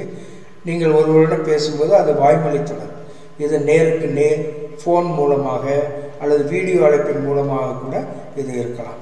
அடுத்து பயனுள்ள தொடர்பு வாய்மொழி வெளிப்பாடு தொடர்பு சக்தி அதாவது வாய்மொழி வெளிப்பாடு தொடர்பு சக்தி என்பது மனித தொடர்புகளுடைய அடிப்படை அம்சம். வாய்மொழி வெளிப்பாடு தொடர்பு சக்தி அது. அது மனித தொடர்புடைய அடிப்படை அம்சம். ஏன்னா வாய்மொழி தொடர்பு அது முக்கிய வடிவங்களில் ஒன்று. மற்றவருக்கு யோசனைகள் எண்ணங்கள் மற்றும் தகவல்களை தெரிவிக்க பேசப்படும் அல்லது எழுதப்பட்ட சொற்களை பயன்படுத்துவதை உள்ளடக்கியது இந்த பயனுள்ள இஃபெக்டிவ் கம்யூனிகேஷன் இஃபெக்டிவ் கம்யூனிகேஷன் என்பது ஒரு சக்தி. மனித தொடர்போட அடிப்படை அம்சம். மற்றவர்களை ஊக்குவிப்பதற்கெல்லாம் பயன்படுத்தக்கூடியதான் இந்த இஃபெக்டிவ் கம்யூனிகேஷன் மோட்டிவேஷன் செய்வதற்கான ஒரு அருமையான ஒரு தகவல் தொடர்பு எஃபெக்டிவ் கம்யூனிகேஷன் அடுத்து தனிப்பட்ட உறவுகள் தொழில்முறை சூழல்கள் கல்வி மற்றும் சமூகம் உட்பட வாழ்க்கையுடைய பல்வேறு அம்சங்களில் இது ஒரு முக்கியமான கருவி. எஃபெக்டிவ் கம்யூனிகேஷன் தெளிவான புரிதல் உறவுகளை உருவாக்குதல் மோதல்களை தீர்ப்பது மற்றும் வெவ்வேறு முயற்சிகளில் வெற்றியை அடைவதற்கு பயனுள்ள வாய்மொழி தொடர்பு அவசியம். எஃபெக்டிவ் கம்யூனிகேஷன் அவசியம். எஃபெக்டிவ் ஓரல் கம்யூனிகேஷன் அல்லது verbal effective verbal communication effective verbal communication அவசியம். முதல் மற்றும் முக்கியமாக பயனுள்ள வாய்மொழி தொடர்பு தெளிவான புரிதலை எளிதாக்குகிறது. சிந்தனைகள் மற்றும் எண்ணங்களை பொருத்தமான எண்ணங்கள் பொருத்தமான மொழியை பயன்படுத்தி தெளிவாக வெளிப்படுத்தப்பட்டு நன்கு ஒழுங்கமைக்கப்பட்ட முறையிலே வெளிப்படுத்தப்படும் போது தவறான விளக்கத்திற்கான வாய்ப்புகள் நிச்சயமாக கணிசமாக குறைக்கப்படுகின்றன. தகவல் தொடர்பு செயல்பாட்டில் ஈடுபட்டுள்ள நபர்களிடையே பயிரப்பட்ட புரிதலை வளர்க்கும் வகையில் தகவல் தொடர்புகளில் உள்ள தெளிவு உத்தேசிக்கப்பட்ட செய்தி பெறப்படுவதையும் நோக்கமாக புரிந்து கொள்ளப்படுவதையும் இது உறுதி செய்கிறது. மேலும் வாய்மொழி தொடர்பு உறவுகளை உருவாக்குவதற்கும் பராமரிப்பதற்கும் மையமாக இருக்கிறது. வாய்மொழி வெளிப்பாட்டினுடைய மூலம் தனிநபர்கள் உணர்வு பூர்வமாக இணைகிறார் ரொம்ப முக்கியமான விஷயம் இந்த வெர்பல் கம்யூனிகேஷனில் அந்த வார்த்தையின் வழியாக தனிநபர்கள் உணவு பூர்வமாக உணர்வு பூர்வமாக எமோஷனல் எமோஷனல் அப்பீல் இருக்கிறது. உணர்வுபூர்வமாக இணைகிறார். அனுபவங்களை பகிர்ந்து கொள்கிறார்கள். நம்பிக்கை மற்றும் நல்லுறவை வளர்த்து கொள்கிறார்கள் உணர்வுகள் எண்ணங்கள் மற்றும் கவலைகளை திறம்பட வெளிப்படுத்துவதன் மூலம் தனிநபர்கள் தங்கள் உறவுகளில் பச்சாத்தாபம் அதாவது எம்பத்தி என்று சொல்லக்கூடிய அந்த இரக்கம் மற்றும் புரிதலின் வலுவான உணர்வை உருவாக்க முடியும். ஒருவருடைய உணர்வுகள் மற்றும் உணர்வுகள் மற்றும் முன்னோக்குகளை வெளிப்படையாகவும் மரியாதையுடனும் தொடர்பு கொள்ளும் திறன் தனிப்பட்ட அல்லது தொழில்முறை அமைப்புகளில் ஆரோக்கியமான உறவுகளுக்கு இன்றியமையாதது. தொழில்முறை துறையில் பயனுள்ள வாய்மொழி தொடர்பு ரொம்ப முக்கியம். அதாவது ஒரு இன்ஸ்டிடியூஷனில் தலைமை வகிப்பவர் மிக சரியான அந்த தகவல் தொடர்பை கொண்டிருக்கணும். பயனுள்ள அதாவது இஃபெக்டிவ் கம்யூனிகேஷன் உள்ளவர் தான் ஒரு தலைவராக இருக்க முடியும். அந்த அர்த்தத்தில் தொழில்முறை துறையிலே பயனுள்ள வாய்மொழி தொடர்பு இன்றியமையாது வேலை நேர்காணல்கள் மற்றும் கிளையண்ட் விளக்க காட்சிகள் முதல் குழு சந்திப்புகள் மற்றும் ஒத்துழைப்பு வரை சிந்தனைகள் மற்றும் தகவல்களை தெளிவாகவும் வற்புறுத்தவும் வெளிப்படுத்துவது அவசியம். திறமையான வாய்மொழி தொடர்பு திறன்கள் தொழில் முன்னேற்றங்கள் மேம்பட்ட வேலை செயல்திறன் மற்றும் வெற்றிகரமான பேச்சுவார்த்தைகளுக்கு வழிவகுக்கும். தங்களை நன்கு வெளிப்படுத்தக்கூடிய தொழில் வல்லுநர்கள் பெரும்பாலும் தங்கள் நிறுவனங்களுக்குள் திறமையான தலைவர்கள் இருப்பார்கள். திறமையான தலைவர்களாக இருப்பார்கள். செல்வாக்கு செலுத்துபவர்களாக இருப்பார்கள். சிக்கல்களை தீர்ப்பவர்களாக இருப்பார்கள். மேலும் வாய்மொழி தொடர்பு என்பது பயனுள்ள கல்வியினுடைய ஒரு மூலக்கல் கார்னர் ஸ்டோன் ஆசிரியர்கள் அறிவை வழங்கவும் கருத்துக்களை விளக்கவும் கற்றல் செயல்பாட்டில் மாணவர்களை ஈடுபடுத்தவும் வாய்மொழி தொடர்பை பயன்படுத்துகின்றனர்.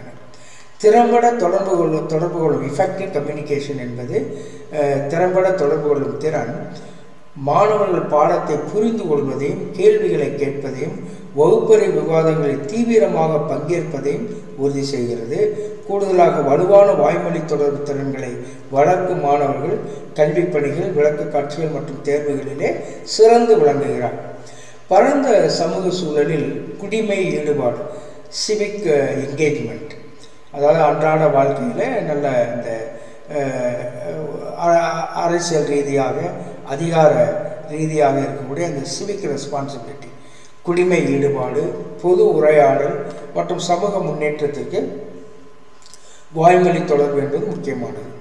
தனிநபர்கள் தங்கள் கருத்துக்களை வெளிப்படுத்தவும் மாற்றத்திற்காக வாதிடவும் அழுத்தமான பிரச்சனைகளை பற்றி உரையாடலில் ஈடுபடும் இது அனுமதிக்கிறது. பயனுள்ள வாய்மொழி தொடர்பு ஜனநாயக சமூகங்களுடைய இதயத்திலே உள்ளது. தகவலறிந்த முடிவெடுக்கும் மற்றும் கூட்டு நடவடிக்கைக்கு இது உதவுகிறது. வாய்மொழி தொடர்பு திறன்களை மேம்படுத்த தனிநபர்கள் பல்வேறு நடைமுறைகளிலே ஈடுபடலாம். செயலில் கேட்பது ஆக்டிவ் லிசனிங் பயனுள்ள தகவல் தொடர்புடைய முக்கிய கூறுபாடு. அதாவது எஃபெக்டிவ் கம்யூனிகேஷனுக்கு ரொம்ப முக்கியமானது ஆக்டிவ் லிஸ்னிங் பேச்சாளருக்கு பிரிக்கப்படாத அதாவது அன்டிவைடட் அட்டென்ஷன் சொல்ல பிரிக்கப்படாத கவனம் செலுத்துதல் செய்தியை புரிந்து கொள்வது மற்றும் பொருத்தமான கருத்துக்களை வழங்குதல் ஆகியவையெல்லாம் இந்த எஃபெக்டிவ் கம்யூனிகேஷனில் அடங்கும். கூடுதலாக ஒருவருடைய சொற்களஞ்சியங்களை களஞ்சியத்தை விரிவுபடுத்துதல் உச்சரிப்பை மேம்படுத்துதல் மற்றும் கலாச்சார நுணுக்கங்களை புரிந்து கொள்வது ஆகியவை வாய்மொழி தொடர்பு திறனை கணிசமாக மேம்படுத்தும். பிறரிடம் பிறரை நாம் கவனம் உற்று நோக்க கவனமாக உற்று நோக்குகின்ற பொழுது கவ அவர்களுடைய பேச்சை கவனிக்கின்ற பொழுது ஒருவருடைய சொற்களஞ்சியத்தை விரிவுபடுத்திக் கொள்ளலாம். உச்சரிப்பை மேம்படுத்திக் கொள்ளலாம். கலாச்சார நுணுக்கங்களை புரிந்து கொள்ளலாம். அதுக்கு ரொம்ப முக்கியம் இந்த வாய்மொழி தொடர்பு திறன். வாய்மொழி தொடர்பு என்பது புரிந்து கொள்ளுதலை எளிதாக்குகிறது உறவுகளை உருவாக்குகிறது தொழில்முறை வெற்றியை ஊக்குவிக்கிறது மற்றும் சமூக முன்னேற்றத்தை ஊக்குவிக்கும் ஒரு சக்தி வாய்ந்த கருவியாக இருக்கிறது. திறமையான வாய்மொழி வெளிப்பாட்டின் கலையில் தேர்ச்சி பெறுவது தனிப்பட்ட மற்றும் தொழில்முறை வளர்ச்சிக்கு மிகவும் அவசியம். தெளிவான பச்சாத்தாபம் அதாவது இந்த எம்பத்தி என்று சொல்லக்கூடிய அந்த ஒரு நல்ல உணர்வு பாசமிக்க அல்லது பிறரை தாங்குகின்ற அந்த உணர்வு அதான் பச்சாத்தாபம். எம்பத்தி ஆகவே தெளிவான எம்பத்தட்டிக் மற்றும் வற்புறுத்தக்கூடிய வாய்மொழி தொடர்பு மூலம் தனிநபர்கள் வாழ்க்கையினுடைய சிக்கல்களை புரிந்து கொள்ளவும் மற்றவர்களுடன் தொடர்பு கொள்ளவும் சமூகத்திற்கு அர்த்தமுள்ள பங்களிப்பை வழங்கவும் முடியும். இந்த அளவிற்கு இந்த எஃபெக்டிவ் கம்யூனிகேஷன் என்பது நமக்கு உதவி செய்கிறது. just a minute.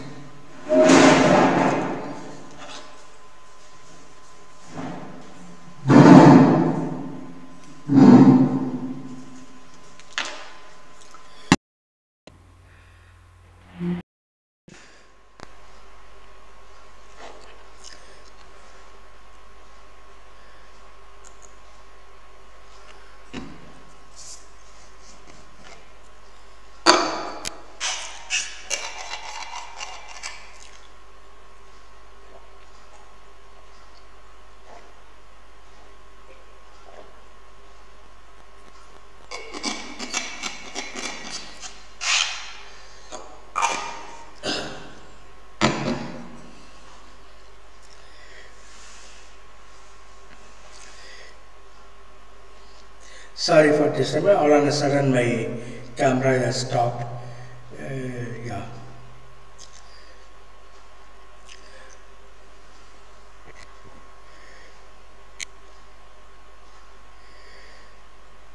வாய்மொழி தொடர்புடைய முதன்மை கூறு எது வாய்மொழி தொடர்பு முதன்மை கூறியது வார்த்தைகள் உடல் மொழி இமோஜிகள் மொழிகள் வார்த்தைகள். வாய்மொழி தொடர்பு என்பது செய்திகளையும் தகவலையும் தெரிவிப்பதற்கு வார்த்தைகளை பயன்படுத்துவதை முதன்மையாக உள்ளடக்குகிறது. பின்வருவனவற்றில் எது பயனுள்ள வாய்மொழி தொடர்புக்கு தடையாக இருக்கிறது? ஆக்டிவ் லிஸ்னிங் செயலில் கேட்பது சத்தம் சரியான உச்சரிப்பு தெளிவான செய்தி சத்தம். சத்தம் தகவல் தொடர்பு செயல்முறையை சீர்குலைத்து வாய்மொழி செய்திகளை துல்லியமாக பெறுவது அல்லது விளக்குவது கடினமாக இருக்குது. ச அதாவது சத்தம் என்பது தகவல் தொடர்பை சீர்குலைக்கிறது. அடுத்து பின்வருவனவற்றில் எது சொற்கள் அல்லாத தகவல் தொடர்புக்கு ஒரு எடுத்துக்காட்டு? ஏ சத்தமாக பேசுதல் பி முறையான மொழியை பயன்படுத்துதல் சி உடன்படிக்கையில் தலையசைத்தல் டி கடிதம் எழுதுதல் உடன்படிக்கையில் தலையசைத்தல். சொற்கள் அல்லாத தொடர்பு என்பது சைகைகள் முகபாவங்கள் மற்றும் தலையசைத்தல் போன்ற உடல் மொழிகளை உள்ளடக்கியது. பயனுள்ள வாய்மொழி தகவல் தொடர்புக்கு எது முக்கிய ஒரு முக்கிய உறுப்பு என்ன? மோனட்டோனஸ் மோனட்டோன் uh, குரல் அதாவது ஒரே மாதிரியாக பேசுவது. ஏற்றல் ஏற்றம் இறக்கம் இல்லாமல் பேசுவது. அடுத்து ஆக்டிவ் லிசனிங் uh, மற்றவர்கள் மீது uh, பேசு மற்றவர்களை பற்றி பேசுது சிக்கலான சொற்களஞ்சியம் அதாவது ஆக்டிவ் லிசனிங் என்பதுதான் முக்கியமானது. பயனுள்ள வாய்மொழி தகவல் தகவல் தொடர்புக்கு ஒரு முக்கியமான உறுப்பாக இருப்பது ஆக்டிவ் லிசனிங் ஆக்டிவ் என்பது ஒரு பேச்சாளரை முழுமையாக புரிந்து கொண்டு பதிலளிப்பதை உள்ளடக்கியது. இது பயனுள்ள வாய்மொழி தகவல் தொடர்புக்கு ஒரு முக்கிய அங்கமாக இருக்கிறது. பயனுள்ள வாய்மொழி தொடர்புக்கு பின்வருவனவற்றில் எது இன்றியமையாத திறமை? ஏ. குறுக்கீடுகள். பி. பச்சாத்தாபம். சி. விரைவாக பேசுதல். டி. வாசகங்களை பயன்படுத்துதல். இதில் எது சரியான பதில் என்று சொன்னால் பச்சாத்தாபம் எம்பத்தி என்று சொல்லக்கூடிய அந்த உணர்வு. பச்சாத்தாபம் என்பது மற்றவர்களுடைய பார்வைகள் மற்றும் உணர்வுகளை புரிந்து கொள்வதற்கும் வாய்மொழி தொடர்பு செயல்திறனை மேம்படுத்துவதற்கும் இது உதவுகிறது. பயனுள்ள வாய்மொழி தகவல் தொடர்புடைய பொதுவான விளைவு என்ன? ஜென்ரல் அவுட்கம் ஏ தவறான புரிதல். பி மோதல் தேர்வு. சி ஆர்வமின்மை. டி ஈடுபாடு இல்லாமை. அதாவது பயனுள்ள வாய்மொழி தகவல்களுடைய பொதுவான விளைவு மோதல் தீர்வு. எந்த கான்ஃப்ளிக்டும் இல்லாமல் இருக்கிறது. பயனுள்ள வாய்மொழி தொடர்பு புரிதல் மற்றும் சமரசத்தை ஊக்குவிப்பதன் மூலம் மோதல்களை தீர்க்க உதவும். என்றால் பயனுள்ள தகவல் தொடர்பு என்றாலே அது வந்து மற்றவர்களை ஈர்க்கும். மற்றவர்களுக்கு ஒரு நல்ல விஷயத்தை கொடுக்கும். மற்றவர்களை இணைக்கும். அந்த வகையிலே அது வந்து மோதல்களை தீர்க்க உதவும். பின்வருவனவற்றில் வாய்மொழி தொடர்பு சேனல் எது? ஏ உரை செய்தி பி முகபாவனை சி தோரணை டி சைகை. உரை செய்தி உரை செய்தியில் தொடர்பு கொள்ள எழுதப்பட்ட சொற்களை பயன்படுத்துவதை உள்ளடக்கியது மற்றும் இது ஒரு வகையான வாய்மொழி தொடர் உரை செய்தி டெக்ஸ்ட் டெக்ஸ்டுவல் மெசேஜ் என்று சொல்கிறோமே அதான் உரை செய்தி தொடர்பு கொள்ள எழுதப்பட்ட சொற்களை பயன்படுத்துவதை உள்ளடக்கியது இது ஒரு வகையான வாய்மொழி தொடர் பின்வருவற்றில் வாய்மொழி தொடர்பு சேனல் இது உரை செய்தி உரை செய்தி தொடர்பு கொள்ள எழுதப்பட்ட சொற்களை பயன்படுத்துவது உள்ளது அதாவது ஒரு டெக்ஸ்டில் எழுதி வைத்து அதை பேசுவாங்க உரை செய்தி என்று சொல்லுவோம். வாய்மொழி தொடர்புகளில் செயலின் செயலில் கேட்பதன் முக்கியத்துவம் ஆக்டிவ் லிஸ்னிங் அதனுடைய முக்கியத்துவம் என்ன? ஏ பயனுள்ள தொடர்புக்கு இது அவசியமில்லை. பி பேச்சாளர் முக்கியமானதாக உணர உதவுகிறது. சி இது புரிதலையும் இணைப்பையும் மேம்படுத்துகிறது. டி இது உரையாடலிலிருந்து திசை திருப்புகிறது. சரியான பதில் இது புரிதலையும் இணைப்பையும் மேம்படுத்துகிறது. வாய்மொழி தொடர்புகளில் செயலில் கேட்பது மிக முக்கியமானது. ஆக்டிவ் லிஸ்டிங் என்பது மிக முக்கியமானது. ஏனென்றால் இது சிறந்த புரிதலை ஊக்குவிக்கிறது மற்றும் தொட- தொடர்பு தொடர்பு அனுப்புவதற்கும் கேட்பவருக்கும் இடையிலான உறவை வலுப்படுத்துகிறது. பின்வரும் அவற்றில் எது பயனுள்ள வாய்மொழி தொடர்புக்கு ஒரு தடையாக இருக்கிறது? ஏ தெளிவான மற்றும் சுருக்கமான மொழியை பயன்படுத்துதல். பி கருத்துக்களை அதாவது பின்னூட்ட தகவலை வழங்குதல் சி சத்தமாக பேசுதல் தொழில்நுட்ப வாசகங்களை பயன்படுத்துதல். அதாவது இந்த ஜார்கன் என்று சொல்வார். தொழில்நுட்ப வாசகம் என்று சொன்னால் அதாவது எந்த துறை இருக்கோ அந்த துறையிலே சில டெக்னிக்கல் டேர்ம்ஸ் இருக்கும். அந்த டேர்ம்ஸை அந்த துறையில் இருப்பவர்கள் தான் புரிந்து கொள்வார்கள். அதான் தொழில்நுட்ப வாசகங்களை பயன்படுத்துதல் எல்லாருக்கும் புரியாது. அந்த துறையில் இருப்பவர்களுக்கு மட்டும்தான் புரியும். அதைத்தான் இங்கே சொல்லிக் கொண்டிருக்கிறோம். தொழில்நுட்ப வாசகங்கள் உரையாடலில் உள்ள அனைவராலும் புரிந்து கொள்ளப்படாமல் போகலாம் என்பதால் பயனுள்ள தகவல் தொடர்புக்கு இது தடையாக இருக்கலாம். அடுத்து வாய்மொழி தொடர்புகளில் மொழியின் பங்கு என்ன? லாங்குவேஜ் இந்த வெர்பல் கம்யூனிகேஷனில் லாங்குவேஜுடைய பங்கு என்ன? இது தொனி சுருதி மற்றும் வேகம் போன்ற குரல் குறிப்புகளுடன் தொடர்புடையது. குரலின் தொனி சுருதி மற்றும் பேச்சின் வேகம் போன்ற பொருளை வெளிப்படுத்தும் குரல் குறிப்புகளை பேரா லாங்குவேஜ் உள்ளடக்கியது.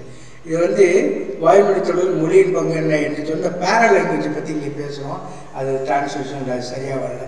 பேரா லாங்குவேஜ் என்று சொல்வது தொனி சுருதி மற்றும் வேகம். அதாவது ஒன்றை ஒரு குறிப்பிட்ட ஸ்பீடில் சொல்லிகிட்டு இருக்கோம். அதை நன்றாக சொல்வதற்காக அல்லது அதனுடைய கருத்தை அது கருத்தினுடைய முக்கியத்துவத்தை சொல்வதற்காக திடீரென்று வேகத்தை குறைக்கிறோம். அதாவது ஒரு கணம் என்றால் என்ன? அதை வேகம் சொல்லிகிட்டே வர்றோம் கணத்தை பற்றி பேசிட்டு இருக்கோம். அதாவது மேத்தமெட்டிக்ஸில் கணம் என்றால் என்ன? வாட் இஸ் அ செட் என்னன்னு சொல்கிறோம் கணம் என்றால் என்ன? திடீரென்று அப்படியே சுரு அப்படியே வேகத்தை குறைக்கிறது. கணம் என்றால் என்ன? கணம் என்பது எ வெல் டிஃபைன்டு நன்கு விவரிக்கப்பட்ட well defined group of things objects அப்படின்னு நம்ம சொல்கிறோம் அது ரொம்ப சுருக்கி வேகம் குறைந்து அப்படி சுருதியை மாற்றி தொனியை மாற்றி நம்ம சொல்லுகின்ற பொழுது அந்த பேரா லாங்குவேஜ்னு சொல்கிறோம் இது தொனி சுருதி மற்றும் வேகம் போன்ற குரல் குறிப்புகளுடைய தொடர்புடையது தான் இந்த பேரா லாங்குவேஜ் மற்றவருடைய தேவைகள் மற்றும் உணர்வுகளில் கவனம் செலுத்துதல் மற்றும் ஒருவருடைய சொந்த உணர்ச்சிகளை வெளிப்படுத்த தயக்கம் ஆகியவற்றால் வகைப்படுத்தப்படும் தொடர்பு பாணி எது? மற்றவருடைய தேவைகள் மற்றும் உணர்வுகளில் கவனம் செலுத்துதல் மற்றும் ஒருவருடைய சொந்த உணர்ச்சிகளை வெளிப்படுத்த தயக்கம் ஆகியவற்றால் வகைப்படுத்தப்படும் தொடர்பு பாணி. அதாவது செயலற்ற ஆக்கிரமிப்பு. செயலற்றது செயலற்றது அப்படின்னு சொல்றோம் பாசிவ் அதாவது மற்றவருடைய தேவைகள் மற்றும் உணவுகளை கவனம் செலுத்துதல் மற்றும் ஒருவருடைய சொந்த உணர்ச்சியை வெளிப்படுத்த தயக்கம் ஆகியவற்றால் வகைப்படுத்தப்படும் தொடர்பு பணி என்று சொன்னால் அது எதாக இருக்கும் என்றால் செயலற்றது. பாசிவ் ஒரு செயலற்ற தகவல் தொடர்பான சுய வெளிப்பாட்டினுடைய பற்றாக்குறை. அதாவது தெரிந்திருக்கிறது ஆனால் அதை சொல்வதற்கு தயக்கம் இருக்கிறது. மற்றவருடைய தேவை மற்றும் உணவுகளுக்கு முக்கியத்துவம் கொடுப்பதன் மூலம் குறிக்கப்படுகிறது. ஆனால் வந்து தான் சுயமாக வெளிப்படுத்துவதில்லை. அதில் ஒரு பற்றாக்குறை இருக்குது செயலற்றது என்று நாம் சொல்லுவோம் அடுத்து வாய்மொழி தொடர்புகளில் கிண்டலை பயன்படுத்துவது எப்போது தவிர்க்க வேண்டும்? எப்பொழுதும் கிண்டல் ஒருபோதும் பொருத்தமானதல்ல. இது எதுவும் சரியான பதில்? முறையான அமைப்புகள் மட்டுமே தவறாக புரிந்து கொள்ளப்படும் உண்மை. அதாவது கிண்டல் என்பது நண்பர்களுக்கு மத்தியிலே கிண்டல் செய்தால் அதை பொறுத்து கொள்வார்கள் ஏற்றுக்கொள்வார்கள். அதுவே உறவுக்கு கூட பாலமாக அமையும். ஆனால் அதையே பிடிக்காதவர்களிடத்தில் போய் கிண்டல் செய்தால் அவர்கள் மனது புண்படும். ஆகவே இது என்ன பதில்? சரியான பதில் என்ன சொன்னால் தவறாக புரிந்து கொள்ளப்படும் அல்லது அது புண்படுத்தக்கூடிய சூழ்நிலையில் அதை பயன்படுத்தக்கூடாது. அதாவது பிடிக்காத ஒருத்தர்கிட்ட போய் கிண்டல் அடித்தோம்னா அவர் தகராறுக்கு வருவார் சண்டைக்கு வருவார். அதைத்தான் நீங்கள் சொல்லுவது. கிண்டல் தவறாக அதை சார்காசம் சொல்லுது கிண்டல்ங்கிறது ஆங்கிலத்தில் சொன்னால் சார்காஸ்டிக் ரிமார்க் சார்காசம் அப்படின்னு சொல்லுவது சார்காசம் சார்காசம் என்பது அந்த கிண்டல் நையாண்டு என்று சொல்கிறோம் மாதிரி. கிண்டல் தவறாக புரிந்து கொள்ளப்படக்கூடிய புண்படுத்தக்கூடிய சூழ்நிலையில அதை தவிர்க்க வேண்டும். வாய்மொழி தகவல் தொடர்புகளில் பின்னூட்டத்தினுடைய நோக்கம் என்ன? ஏ உரையாடலில் ஆதிக்கம் செலுத்துவது பி பேச்சாளரை குறிக்கிட தகவல் அல்லது பதிலை வழங்க ஒப்பந்தத்தை. அது த பதிலை வழங்குவது தகவல் அல்லது பதிலை வழங்க. ஒருத்தர் சென்டர் வந்து கேள்வியை கேட்குறாருன்னா அனுப்புனர் வந்து பதிலை சொல்கிறார் அது வந்து அது புரிந்து கொள்ளனா பின்னூட்ட தகவலை சொல்கிறேன் ஆகவே வாய்மொழி தகவல் பின்னூட்டம் என்பது தகவல் அல்லது சொல்லப்பட்டதற்கு பதிலளிக்கும் நோக்கத்திற்காக உதவுகிறது. அதைத்தான் வந்து என்ன சொல்கிறோம் பின்னூட்டத்தண்டை நோக்கம். அதை புரிந்து கொள்கிறோம் அல்லது அதுக்கு பதில் சொல்லுவோம். அவர் கேட்ட கேள்விக்கு பதில் சொல்லி திரும்ப அனுப்புவார் ஆகவே பின்னூட்டத்தின் நோக்கம் அதுதான். அடுத்து வாய்மொழி நிரப்பு என்றால் என்ன? அதை ஏன் தகவல் தொடர்புகளிலே குறைக்க வேண்டும்? ஃபில்லர் அதாவது வாய்மொழினும் திஸ் நம்ம பேசிக்கிட்டு இருக்கும்போது சில விஷயங்களை வந்து ஸ்லாங் வேர்ட்ஸ்லாம் பயன்படுத்துவோம் வாய்மொழி நிரப்பு என்ன? ஃபில்லர் வேர்ட் ஃபில்லர் அப்படின்னா என்ன அப்படின்னா பேசிக்கிட்டே இருக்கும் பொழுது நம்ம வட்டார வழக்கில் இருக்கக்கூடிய ஒரு சொல்லை வந்து நம்ம பயன்படுத்துகிறோம்னு வைங்க. அந்த சொல் வந்து இன்னொரு இடத்துல ஒரு மாவட்டத்தில் பேசக்கூடிய ஒரு வார்த்தையானது இன்னொரு மாவட்டத்தில் இருக்கக்கூடிய மக்களுக்கு புரியாது. அது தவறாக புரிந்து கொள்ளக்கூடும் அதையும் இவன் புண்படுத்தக்கூடிய வார்த்தையாக கூட மாறிடும். அதுவே அந்த ஸ்லாங் போன்ற அந்த வார்த்தைகளை நாம் வந்து தகவல் தொடர்பில் பயன்படுத்தக்கூடாது. அது எந்த அளவுக்கு குறைக்க வேண்டும் அதை குறைக்க வேண்டும். நார்மலாக எல்லாரும் பேசக்கூடிய அளவில் அது எல்லாரும் ஏற்றுக்கொள்ளக்கூடிய வகையில் இருக்கக்கூடிய மொழியை நாம் பயன்படுத்த வேண்டும். அதுவே நம்ம வாய்மொழி நிரப்பு என்று சொன்னால் திடீரென்று ஏதாவது அந்த வட்டார வழக்கில் இருக்கக்கூடிய ஒரு பேச்சை சொல்லி நாம் பேசுவது தொடர்ந்து நம்மளுடைய கம்யூனிகேஷனை செய்வது. ஆகவே அது தவறாக இருக்கும் அதை குறைக்க வேண்டும் என்பது. ஆகவே இது எது சரியான பதில்? வாய்மொழி நிரப்பு என்பது தேவையற்ற சொற்கள் அல்லது ஒலிகளை பயன்படுத்துதல். மேலும் அது கவனத்தை சிதறடிக்கக்கூடியதாக இருக்கும் ஏன்னா அந்த ஸ்லாங் வேர்டு வந்து திடீர்னு ரொம்ப இன்னொருத்தர் புண்படுத்தக்கூடியதாகவோ புரியாததாகவோ இருந்துச்சு அப்படின்னா அது தகவல் தொடர்பில் ஒரு சுணக்கத்தை ஏற்படுத்தும். தகவலை புரிந்து கொள்வதில் ஒரு தாமதத்தை ஏற்படுத்தும் அல்லது அதில் கொஞ்சம் பிரச்சனையை ஏற்படுத்தும். வாய்மொழி நிரப்பில் தேவையற்ற சொற்கள் அல்லது உம் ஊ போன்ற ஒளிகள் இருக்கின்றன. மேலும் தகவல் தொடர்புகளில் தெளிவை காக்க இதை குறைக்க வேண்டும். இது போன்ற உம் என்றெல்லாம் இடையில சொல்லிட்டு பொழுது அது தகவல் தொடர்பு சரியாக செல்லாது. சொற்கள் அல்லாத தொடர்பு. வார்த்தைகளை பயன்படுத்தாமல் நீங்கள் விஷயங்களை வெளிப்படுத்தும் போது இதைத்தான் நாம் செய்கிறோம் சொற்கள் அல்லாத தொடர்பு.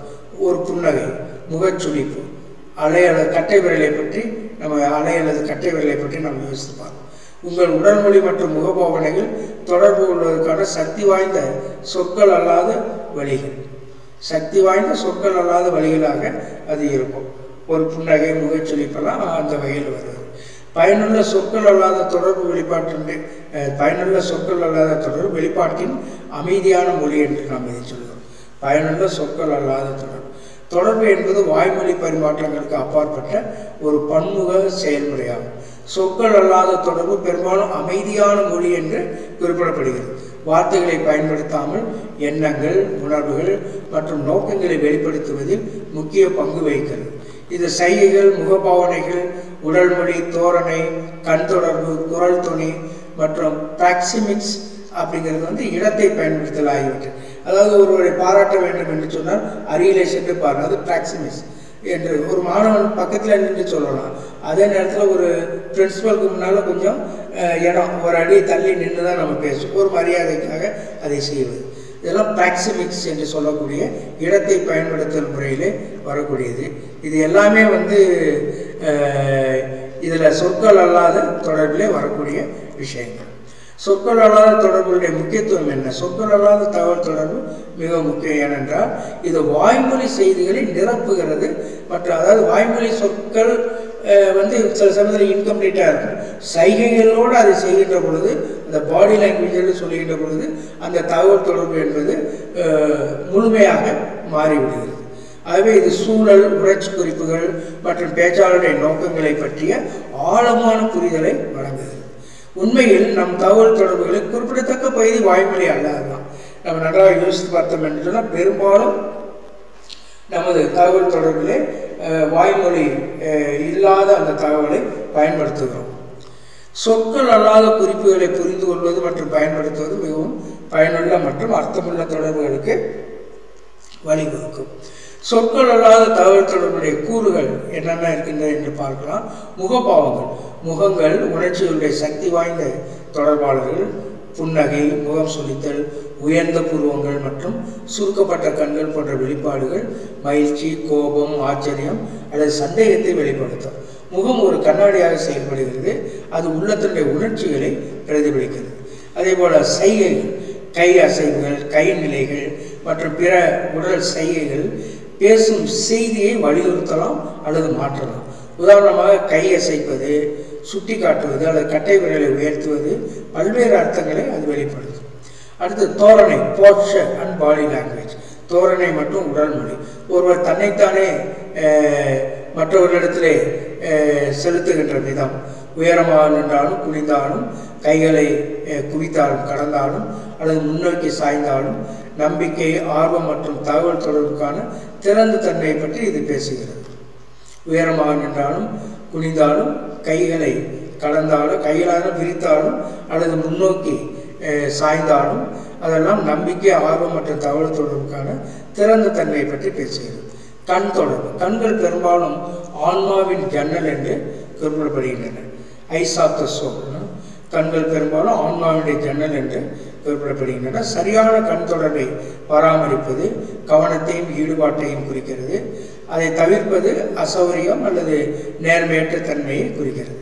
குரலுடைய துணி வார்த்தைகள் பேசப்படும் துணி சுருதி ஒலி மற்றும் ஒழிப்பு ஆகியவை உணர்ச்சிகள் அணுகுமுறைகள் மற்றும் அர்த்தங்களை வெளிப்படுத்துகின்றன. அவை வாய்மொழி செய்தியை மேம்படுத்தலாம் அல்லது முரண்பட்டு நிற்கலாம்.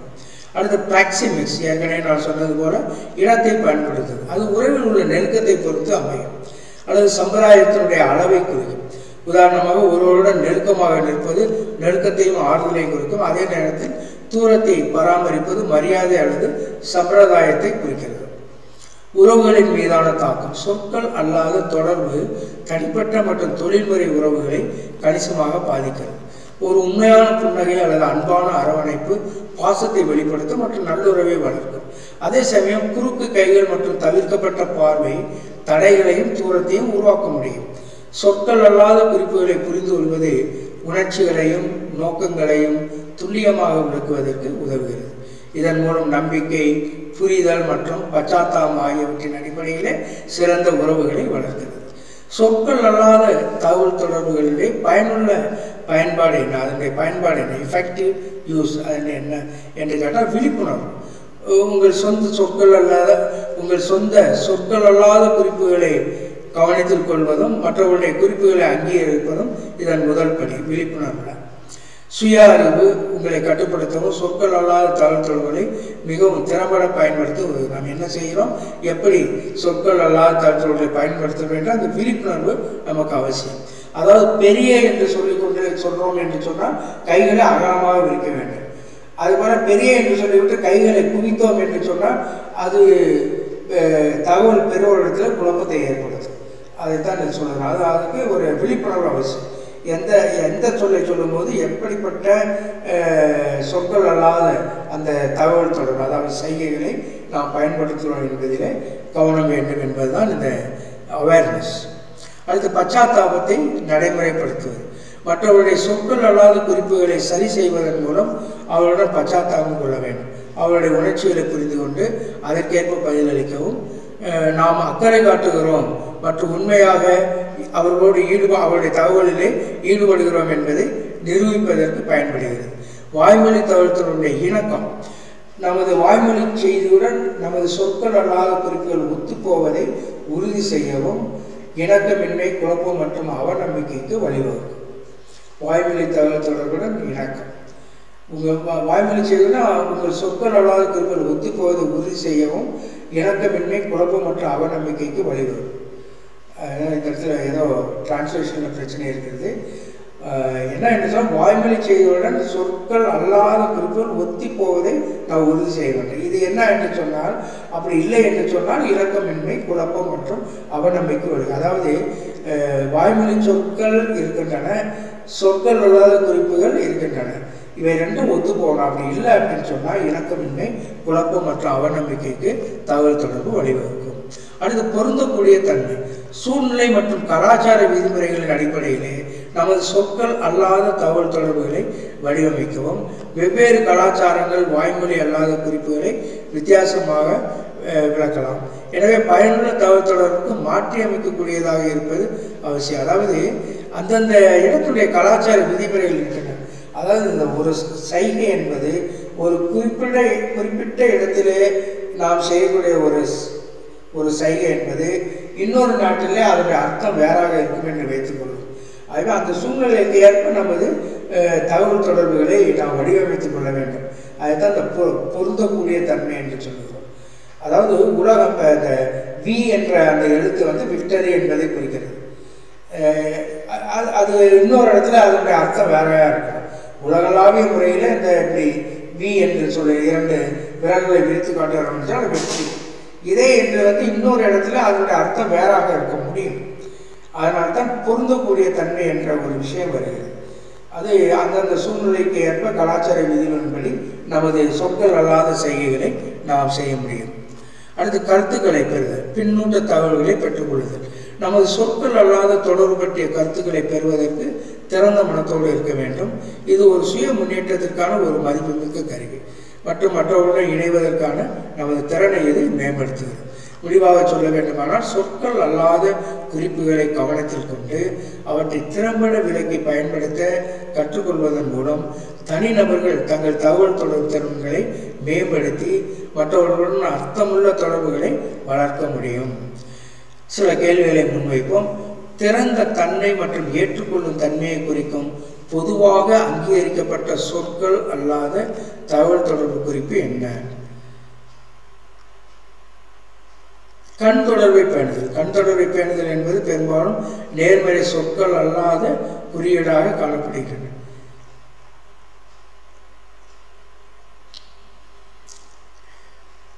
திறந்த தன்மை மற்றும் ஏற்றுக்கொள்ளும் தன்மையை குறிக்கும் பொதுவாக அங்கீகரிக்கப்பட்ட சொற்களை தகவல் தொடர்பு கண் தொடர்பை பராமரித்தல்.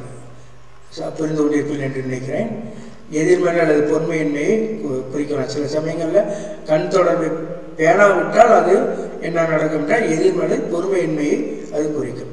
தன்னம்பிக்கை மற்றும் தன்னம்பிக்கையுடன் தொடர்புடைய வார்த்தைகள் அல்லாத குறியது உறுதியான கைகுலுக்கள் உறுதியான கைகுலுக்கள் என்பது ஒரு சொற்களற்ற குறியீடு. இது பெரும்பாலும் நம்பிக்கையையும் தன்னம்பிக்கையையும் வெளிப்படுத்துகிறது. அதே நேரத்தில் ஏ பி மற்றும் டி விருப்பங்கள் பொதுவாக பதட்டம் அல்லது நம்பிக்கையின்மையை பரிந்துரைக்கின்றன. மேற்கண்ட அந்த உதாரணத்தில் அதை பார்க்கிறோம். சாய்ந்த தோரணை நரம்பு கால் தட்டுதல் கண்தளவை தவிப்பது என்பது நெகட்டிவ் அதே நேரத்தில் உறுதியான கைக்குழுக்கள் என்பது நம்பிக்கையும் தன்னம்பிக்கையை வெளிப்படுத்துகிறது. மற்றவை பதட்டம் அல்லது நம்பிக்கையின்மையை வெளிப்படுத்துகின்றன. ஏமாற்று அல்லது நேர்மையின்மையுடன் அடிக்கடி தொடர்படுத்தப்படும் வார்த்தைகள் அல்லாத குறிப்பு எது?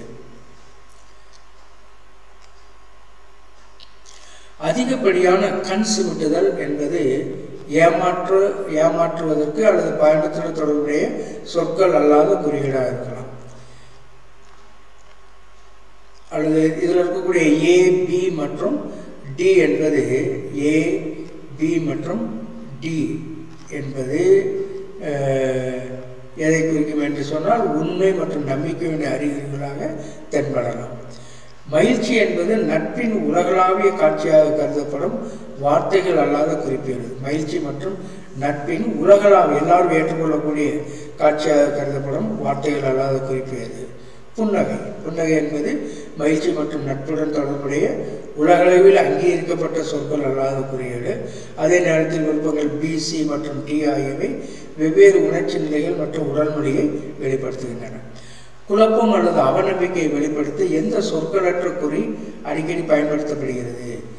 குழப் குழப்பம் அல்லது அவநம்பிக்கையை வெளிப்படுத்துகிறது உயர்த்தப்பட்ட புருவங்கள். உயர்த்தப்பட்ட புருவங்கள் குழப்பம் அல்லது அவநம்பிக்கையை வெளிப்படுத்த பயன்படுத்தப்படும் சொற்கள் அல்லாத குறியீடாக இருக்க முடியும். அதே நேரத்தில் ஏசி மற்றும் டி விருப்பங்கள் வெவ்வேறு அர்த்தங்கள் அல்லது செய்கைகளை வெளிப்படுத்துகின்றன. அடுத்து தற்காப்பு அல்லது பாதுகாக்கப்பட்ட மனப்பான்மையுடன் பொதுவாக என்ன சொல்லாத குறிப்பை வெளிப்படுத்தலாம்? தற்காப்பு அல்லது பாதுகாக்கப்பட்ட மனப்பான்மை. இறுக்கமாக மடிந்த கைகள்.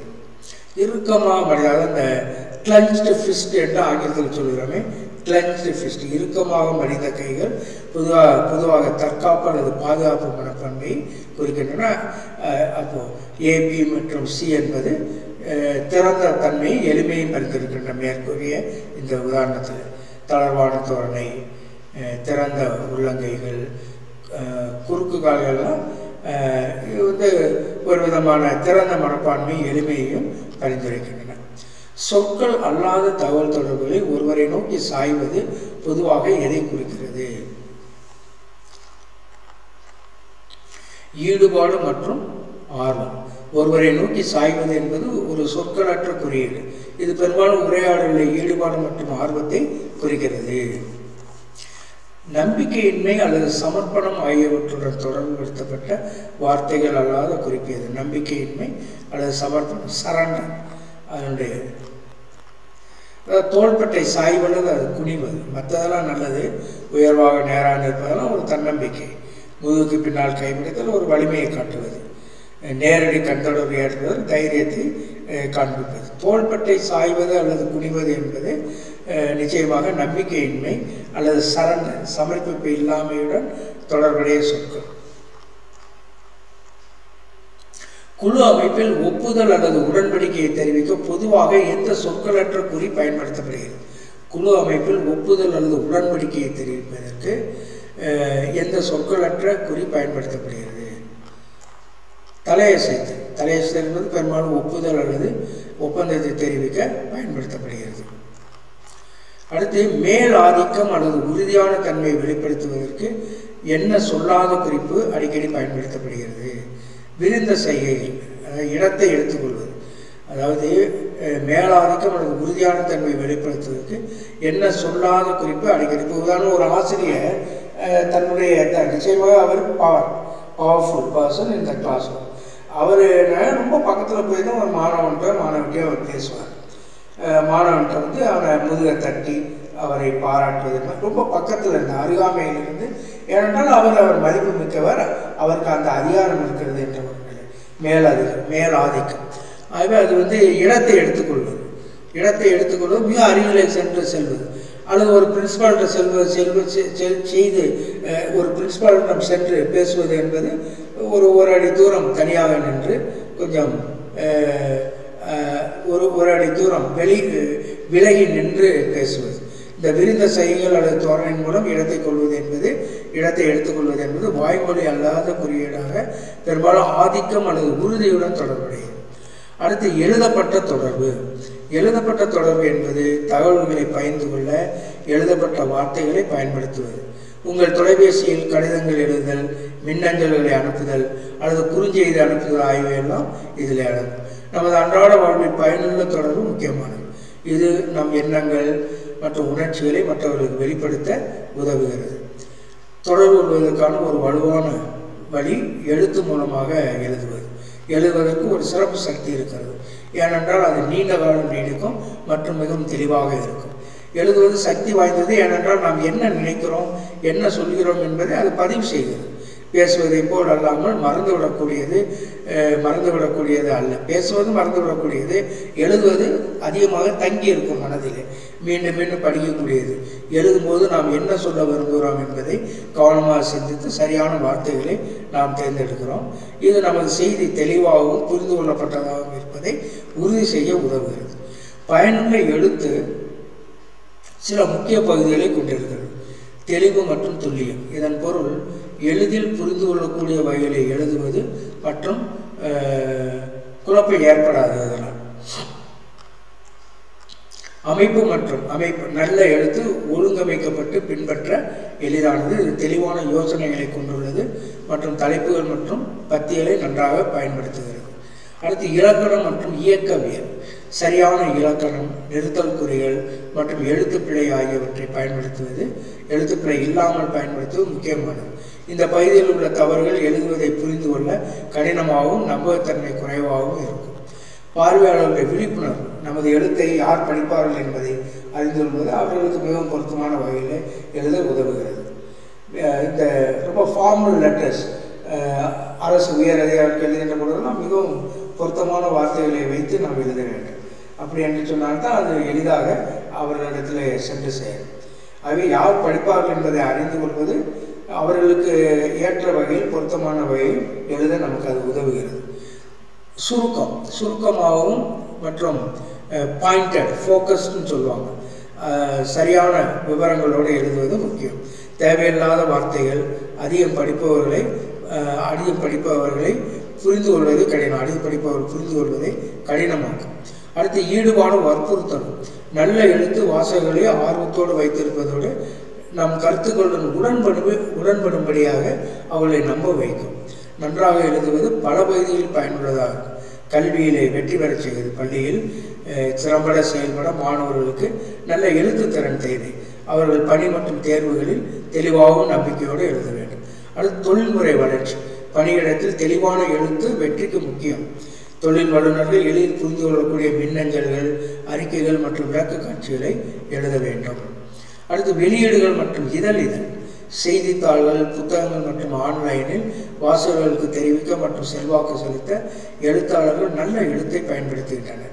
சட்ட மற்றும் நிர்வாகத்துடன் குழப்பம் மற்றும் கருத்து வேறுபாடுகளை தவிர்க்க சட்ட ஆவணங்கள் மற்றும் பணியிட தகவல் தொடர்புகளில் தெளிவாக எழுதுவது முக்கியமானது. நன்றாக எழுதுவது ஒரு சக்தி வாய்ந்த கருவி. இது நம்மை தெளிவாகவும் உறுதியுடனும் வெளிப்படுத்த உதவுகிறது. இது வாழ்க்கையின் பல பகுதிகளில் முக்கியமானது திறம்பட எழுதுவது எப்படி என்பதை கற்றுக்கொள்வதன் மூலம் நம் இலக்குகளை அடையலாம் மற்றும் நம் முயற்சிகளிலே வெற்றி பெறலாம். பின்வருவனவற்றில் எது எழுத்து தொடர்புகளுடைய அடிப்படை கூறு? சொல் அகராது. பின்வருவனவற்றில் எது எழுத்து தொடர்புகளுடைய அடிப்படை கூறு? கருத்துக்களையும் செய்திகளையும் துல்லியமாக தெரிவிக்க எழுத்து பரிமாற்றத்தில் சொல் அகராது வேண்டும். ஒக்காபுலரி என்று சொல்கிறோமே அதாவது எழுத்து தொகுதி அதாவது சொற்கள் தொகுதி.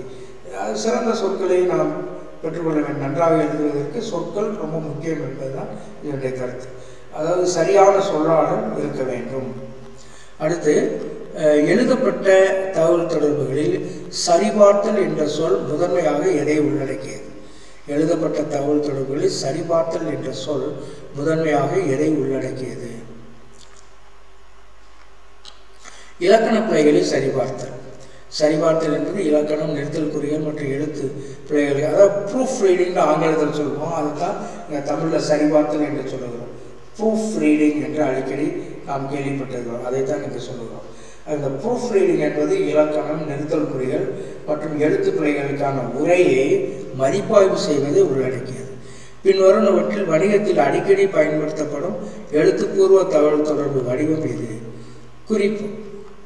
ஒரு மெமோ குறிப்பு என்பது மெமோ அப்படின்னு சொல்லுவோம். அந்த மெமோ என்பது உள் தொடர்புக்காக நிறுவனங்களில் பயன்படுத்தப்படும் ஒரு முறையான எழுத்து தொடர்பு. பின்வரும் விருப்பங்கள் வணிகத்தில் அடிக்கடி பயன்படுத்தப்படும் எழுத்து தொடர்புகள் முறையான வடிவங்கள் கடிதம் வணிக கடிதங்கள் என்பது வணிகங்கள் வாடிக்கையாளர்கள் மற்றும் பிற தரப்பினருக்கு இடையேயான தொடர்புக்கு பயன்படுத்தப்படும் முறையான ஆவணங்கள். அவர்கள் தொழில்முறை கடித பரிமாற்றத்திற்கு ஏற்ற ஒரு குறிப்பிட்ட வடிவம் மற்றும் துறையை பின்பற்றுகிறார்கள் அடுத்து மெமோரண்டம் மெமோ என்று சொல்வது. மெமோக்கள் என்பது ஒரு நிறுவனத்துக்குள் உள் தொடர்புக்காக பயன்படுத்தப்படும் சுருக்கமான எழுதப்பட்ட செய்தி. அவை பொதுவாக தகவலை தெரிவிக்க அறிவிப்புகளை வெளியிட அல்லது பணியாளர்கள் அல்லது துறைகளுக்கு இடையே நடவடிக்கை எடுக்க பயன்படுகின்றன. அடுத்து மின்னஞ்சல்.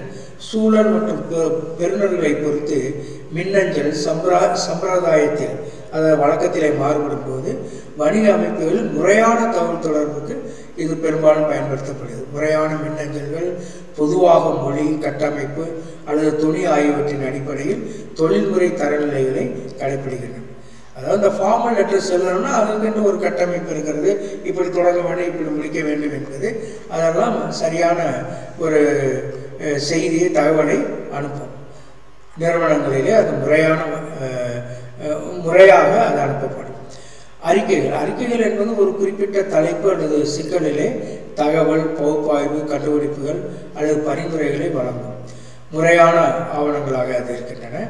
ஆராய்ச்சி முடிவுகள் திட்ட புதுப்பிப்புகள் புதுப்பிப்புகள் நிதி செயல்திறன் மற்றும் பிற முக்கிய தகவல்களை தெரிவிக்க வணிகத்தில் பொதுவாக பயன்படுத்தப்படுகின்றன இந்த எழுத்து தொடர்பு வடிவங்கள் அனைத்தும் வணிக தொடர்புகளில் குறிப்பிடத்தக்க பாத்திரங்களை வகிக்கின்றன. ஒவ்வொன்றும் குறிப்பிட்ட நோக்கங்களுக்கும் பார்வையாளர்களுக்கும் சேவை செய்கின்றன. சில கேள்விகளை முன்வைப்போம். வற்புறுத்தும் எழுத்து தொடர்புகளுடைய நோக்கம் என்ன? கன்வின்சிங் ரைட்டிங் அப்படின்னு சொல்கிறோமே அது. வற்புறுத்தும் எழுத்து தொடர்புகளுடைய நோக்கம். வற்புறுத்த அல்லது சமாதானப்படுத்த. வற்புறுத்தும் எழுத்துடைய முக்கிய நோக்கம் வாசகருடைய நம்பிக்கைகள் அல்லது செயல்களில் தாக்கத்தை ஏற்படுத்துவது. எழுதும் செயல்பாட்டில் அவுட்லைனை பயன்படுத்துவதே நன்மை என்ன? அதாவது ஒரு எஸ்ஏ இருக்கிறது என்று சொன்னால் இன்ட்ரடக்ஷன் பாடி முன்னோ கன்க்ளூஷன் எல்லாம் சொல்லுகிறோமே அந்த அவுட்லைனும் முதவே எழுத சொல்லணும் சில சமயங்களில் தேர்வுகளிலே கூட சிறந்த மாணவர்களுக்கு சிறந்த மதிப்பெண்ணை எடுப்பதற்கு அப்படிப்பட்ட ஒரு அவுட்லைனை பயன்படுத்த வேண்டும் என்றெல்லாம் கல்லூரிகளில் கூட நாம் சொல்வது கல்லூரிகளில் நாம் சொல்வதுண்டு. அந்த அவுட்லைனை பயன்படுத்துவதன் நன்மை என்ன?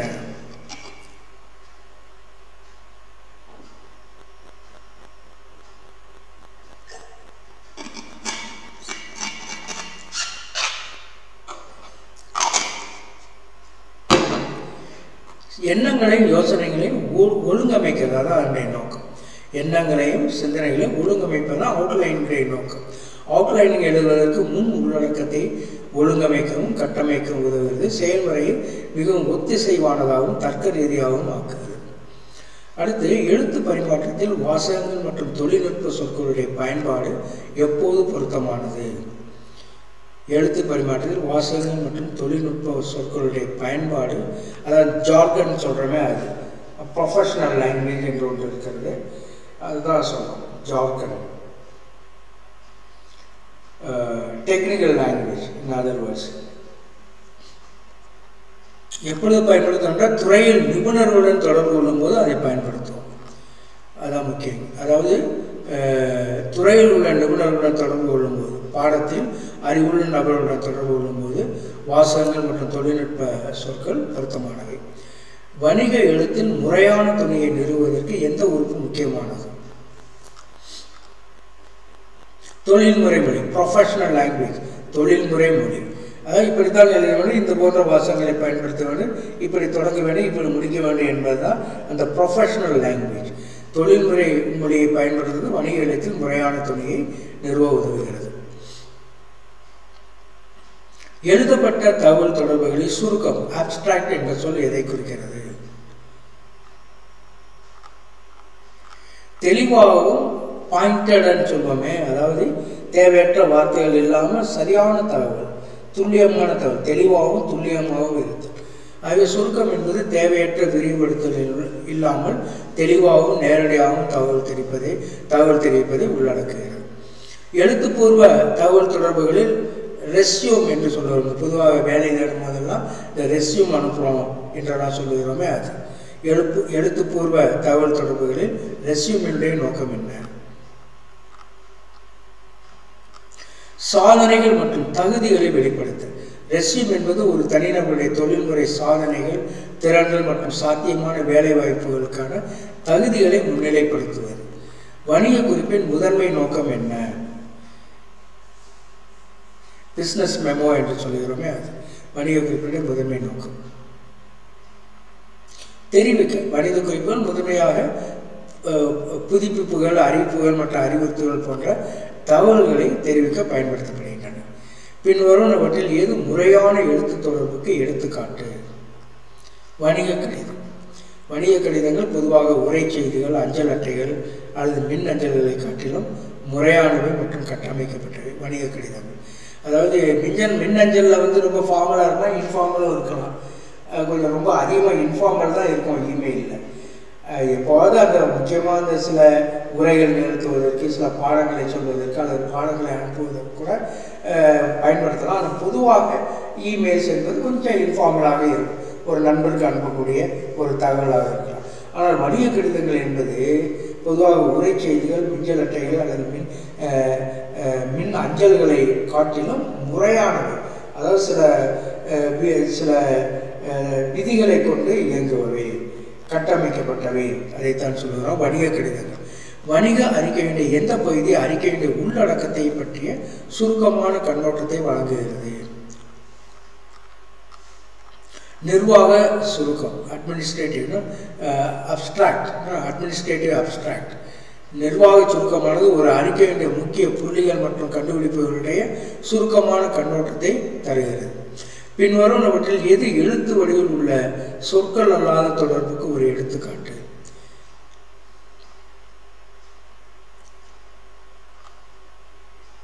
மின்னஞ்சலில் ஒரு இமோஜினா இமோஜி என்பது எழுதப்பட்ட உரையில் பயன்படுத்தப்படும் போது சொற்கள் அல்லாத தகவல் தொடர்பு வடிவம். பின்வருவனவற்றில் வாய்மொழி தொடர்பை விட எழுதப்பட்ட தகவல் தொடர்புக்கான நன்மை என்ன? வாய்மொழி தொடர்பை விட எழுதப்பட்ட தகவல் தொடர்பு நிரந்தரமானது. தெளிவு மற்றும் துல்லியம். அதாவது வாய்மொழி அது இடத்துல வந்து நிரந்தரமற்றது. நிரந்தரமானது என்பதும் உண்மைதான். தெளிவு மற்றும் துல்லியம். தெளிவு மற்றும் துல்லியம். எழுத்துப்பூர்வ தகவல் தொடர்பு துல்லியமான மொழியை பயன்படுத்த அனுமதிக்கிறது மற்றும் தவறான விளக்கம் குறைவாக இருக்கிறது. ஒரு முறையான அறிக்கையில் விவாதி விவாதிக்கப்படும் தலைப்பு அல்லது பிரச்சனையுடைய விரிவான பகுப்பாய்வை பொதுவாக எந்த பிரிவு வழங்குகிறது ஒரு முறையான அறிக்கையில் விவாதிக்கப்படும் தலைப்பு அல்லது பிரச்சனையுடைய விரிவான பகுப்பாய்வு பொதுவாக எந்த பிரிவு வழங்குகிறது? கண்டுபிடிப்புகள் அல்லது பகுப்பாய்வு. இந்த பகுதி தலைப்பு அல்லது பிரச்சனையுடைய விரிவான பகுப்பாய்வு வழங்குகிறது. அடுத்து மின்னஞ்சல் அல்லது மெமோவில் உள்ள பொருள் வரியின் நோக்கம் என்ன? செய்தியின் சுருக்கத்தை வழங்குவது. பொருள் பொருள் வரி பெறுநருக்கு மின்னஞ்சல் அல்லது மெமோவினுடைய உள்ளடக்கத்தை அதாவது இந்த இதில் பார்த்தீங்கன்னா சப்ஜெக்ட்னு வரும். இமெயிலில் வந்து சப் இந்த எஸ்யூபி அப்படின்னு வரும். அதில் வந்து நம்ம என்ன எதை எதை பற்றி நம்ம அந்த இமெயிலில் சொல்கிறோமோ அதை வந்து சுருக்கமாக அந்த சொல்கிறோம் இதை பற்றி தான் இருக்குது அப்படின்னு சொல்கிறோம் அதைத்தான் அந்த மின்னஞ்சல் மெமோ அப்படின்னு சொல்கிறோம் பொருள் வரி பெறுநருக்கு மின்னஞ்சல் அல்லது மெமோவுடைய உள்ளடக்கத்தில் விரைவான கண்ணோட்டத்தை வழங்குகிறது. பின்வருவனவற்றில் எது முறைசாரா எழுத்து தொடர்புக்கு எடுத்துக்காட்டு? இன்ஃபார்மல் நண்பருக்கு ஒரு குறுஞ்செய்தி அனுப்புவது இன்ஃபார்மலாக இருக்கும் ரொம்ப கிராமட்டிக்கலாக நம்ம எழுத மாட்டோம். நண்பருக்கு புரியும்படியாக சில வார்த்தைகளை சொல்லுவோம். ஏதாவது நையாண்டியோட கூட சொல்லுவோம். அது வந்து ஒரு குறுஞ்செய்தி. நண்பருக்கு ஒரு குறுஞ்செய்தி. இது வந்து இன்ஃபார்மல் முறைசாரா எழுத்து தொடர்பு. நண்பர்களுக்கான உரை செய்திகள் பொதுவாக மிகவும் முறைசாராகவே அதே சமயம் ஆய்வுக் கட்டுரைகள் வணிக முன்மொழிவுகள் மற்றும் சட்ட ஒப்பந்தங்கள் முறையான ஆவணங்கள். அடுத்து இதோட முடித்துக்கொள்வோம் ஏனென்றால் இதில் இந்த கேமரா வரவில்லை. இம்மீடியட்டாக நான் பேச போயிட்டேன். முடிந்த வரைக்கும் இரண்டையும் ஒற்ற நினைக்கின்றேன். அப்படி என்றால் தனி அப்படி இல்லை என்று சொன்னால் தனித்தனி வீடியோக்களாக காணொலிகளாக உங்களுக்கு நான் தருகிறேன். Thank you very much friends god bless you abundantly. Kindly subscribe you know if you uh, you know if you haven't subscribed yet uh, immediately I start the next one. I try to uh, you know uh, uh, paste it not together through editing. If it is not possible I'll give it as uh, give it as a separate video. Maybe the second video will be that. In my if it is possible I will paste it together. Immediately I will start the second one. Thank you very much for your presence. God bless you abundantly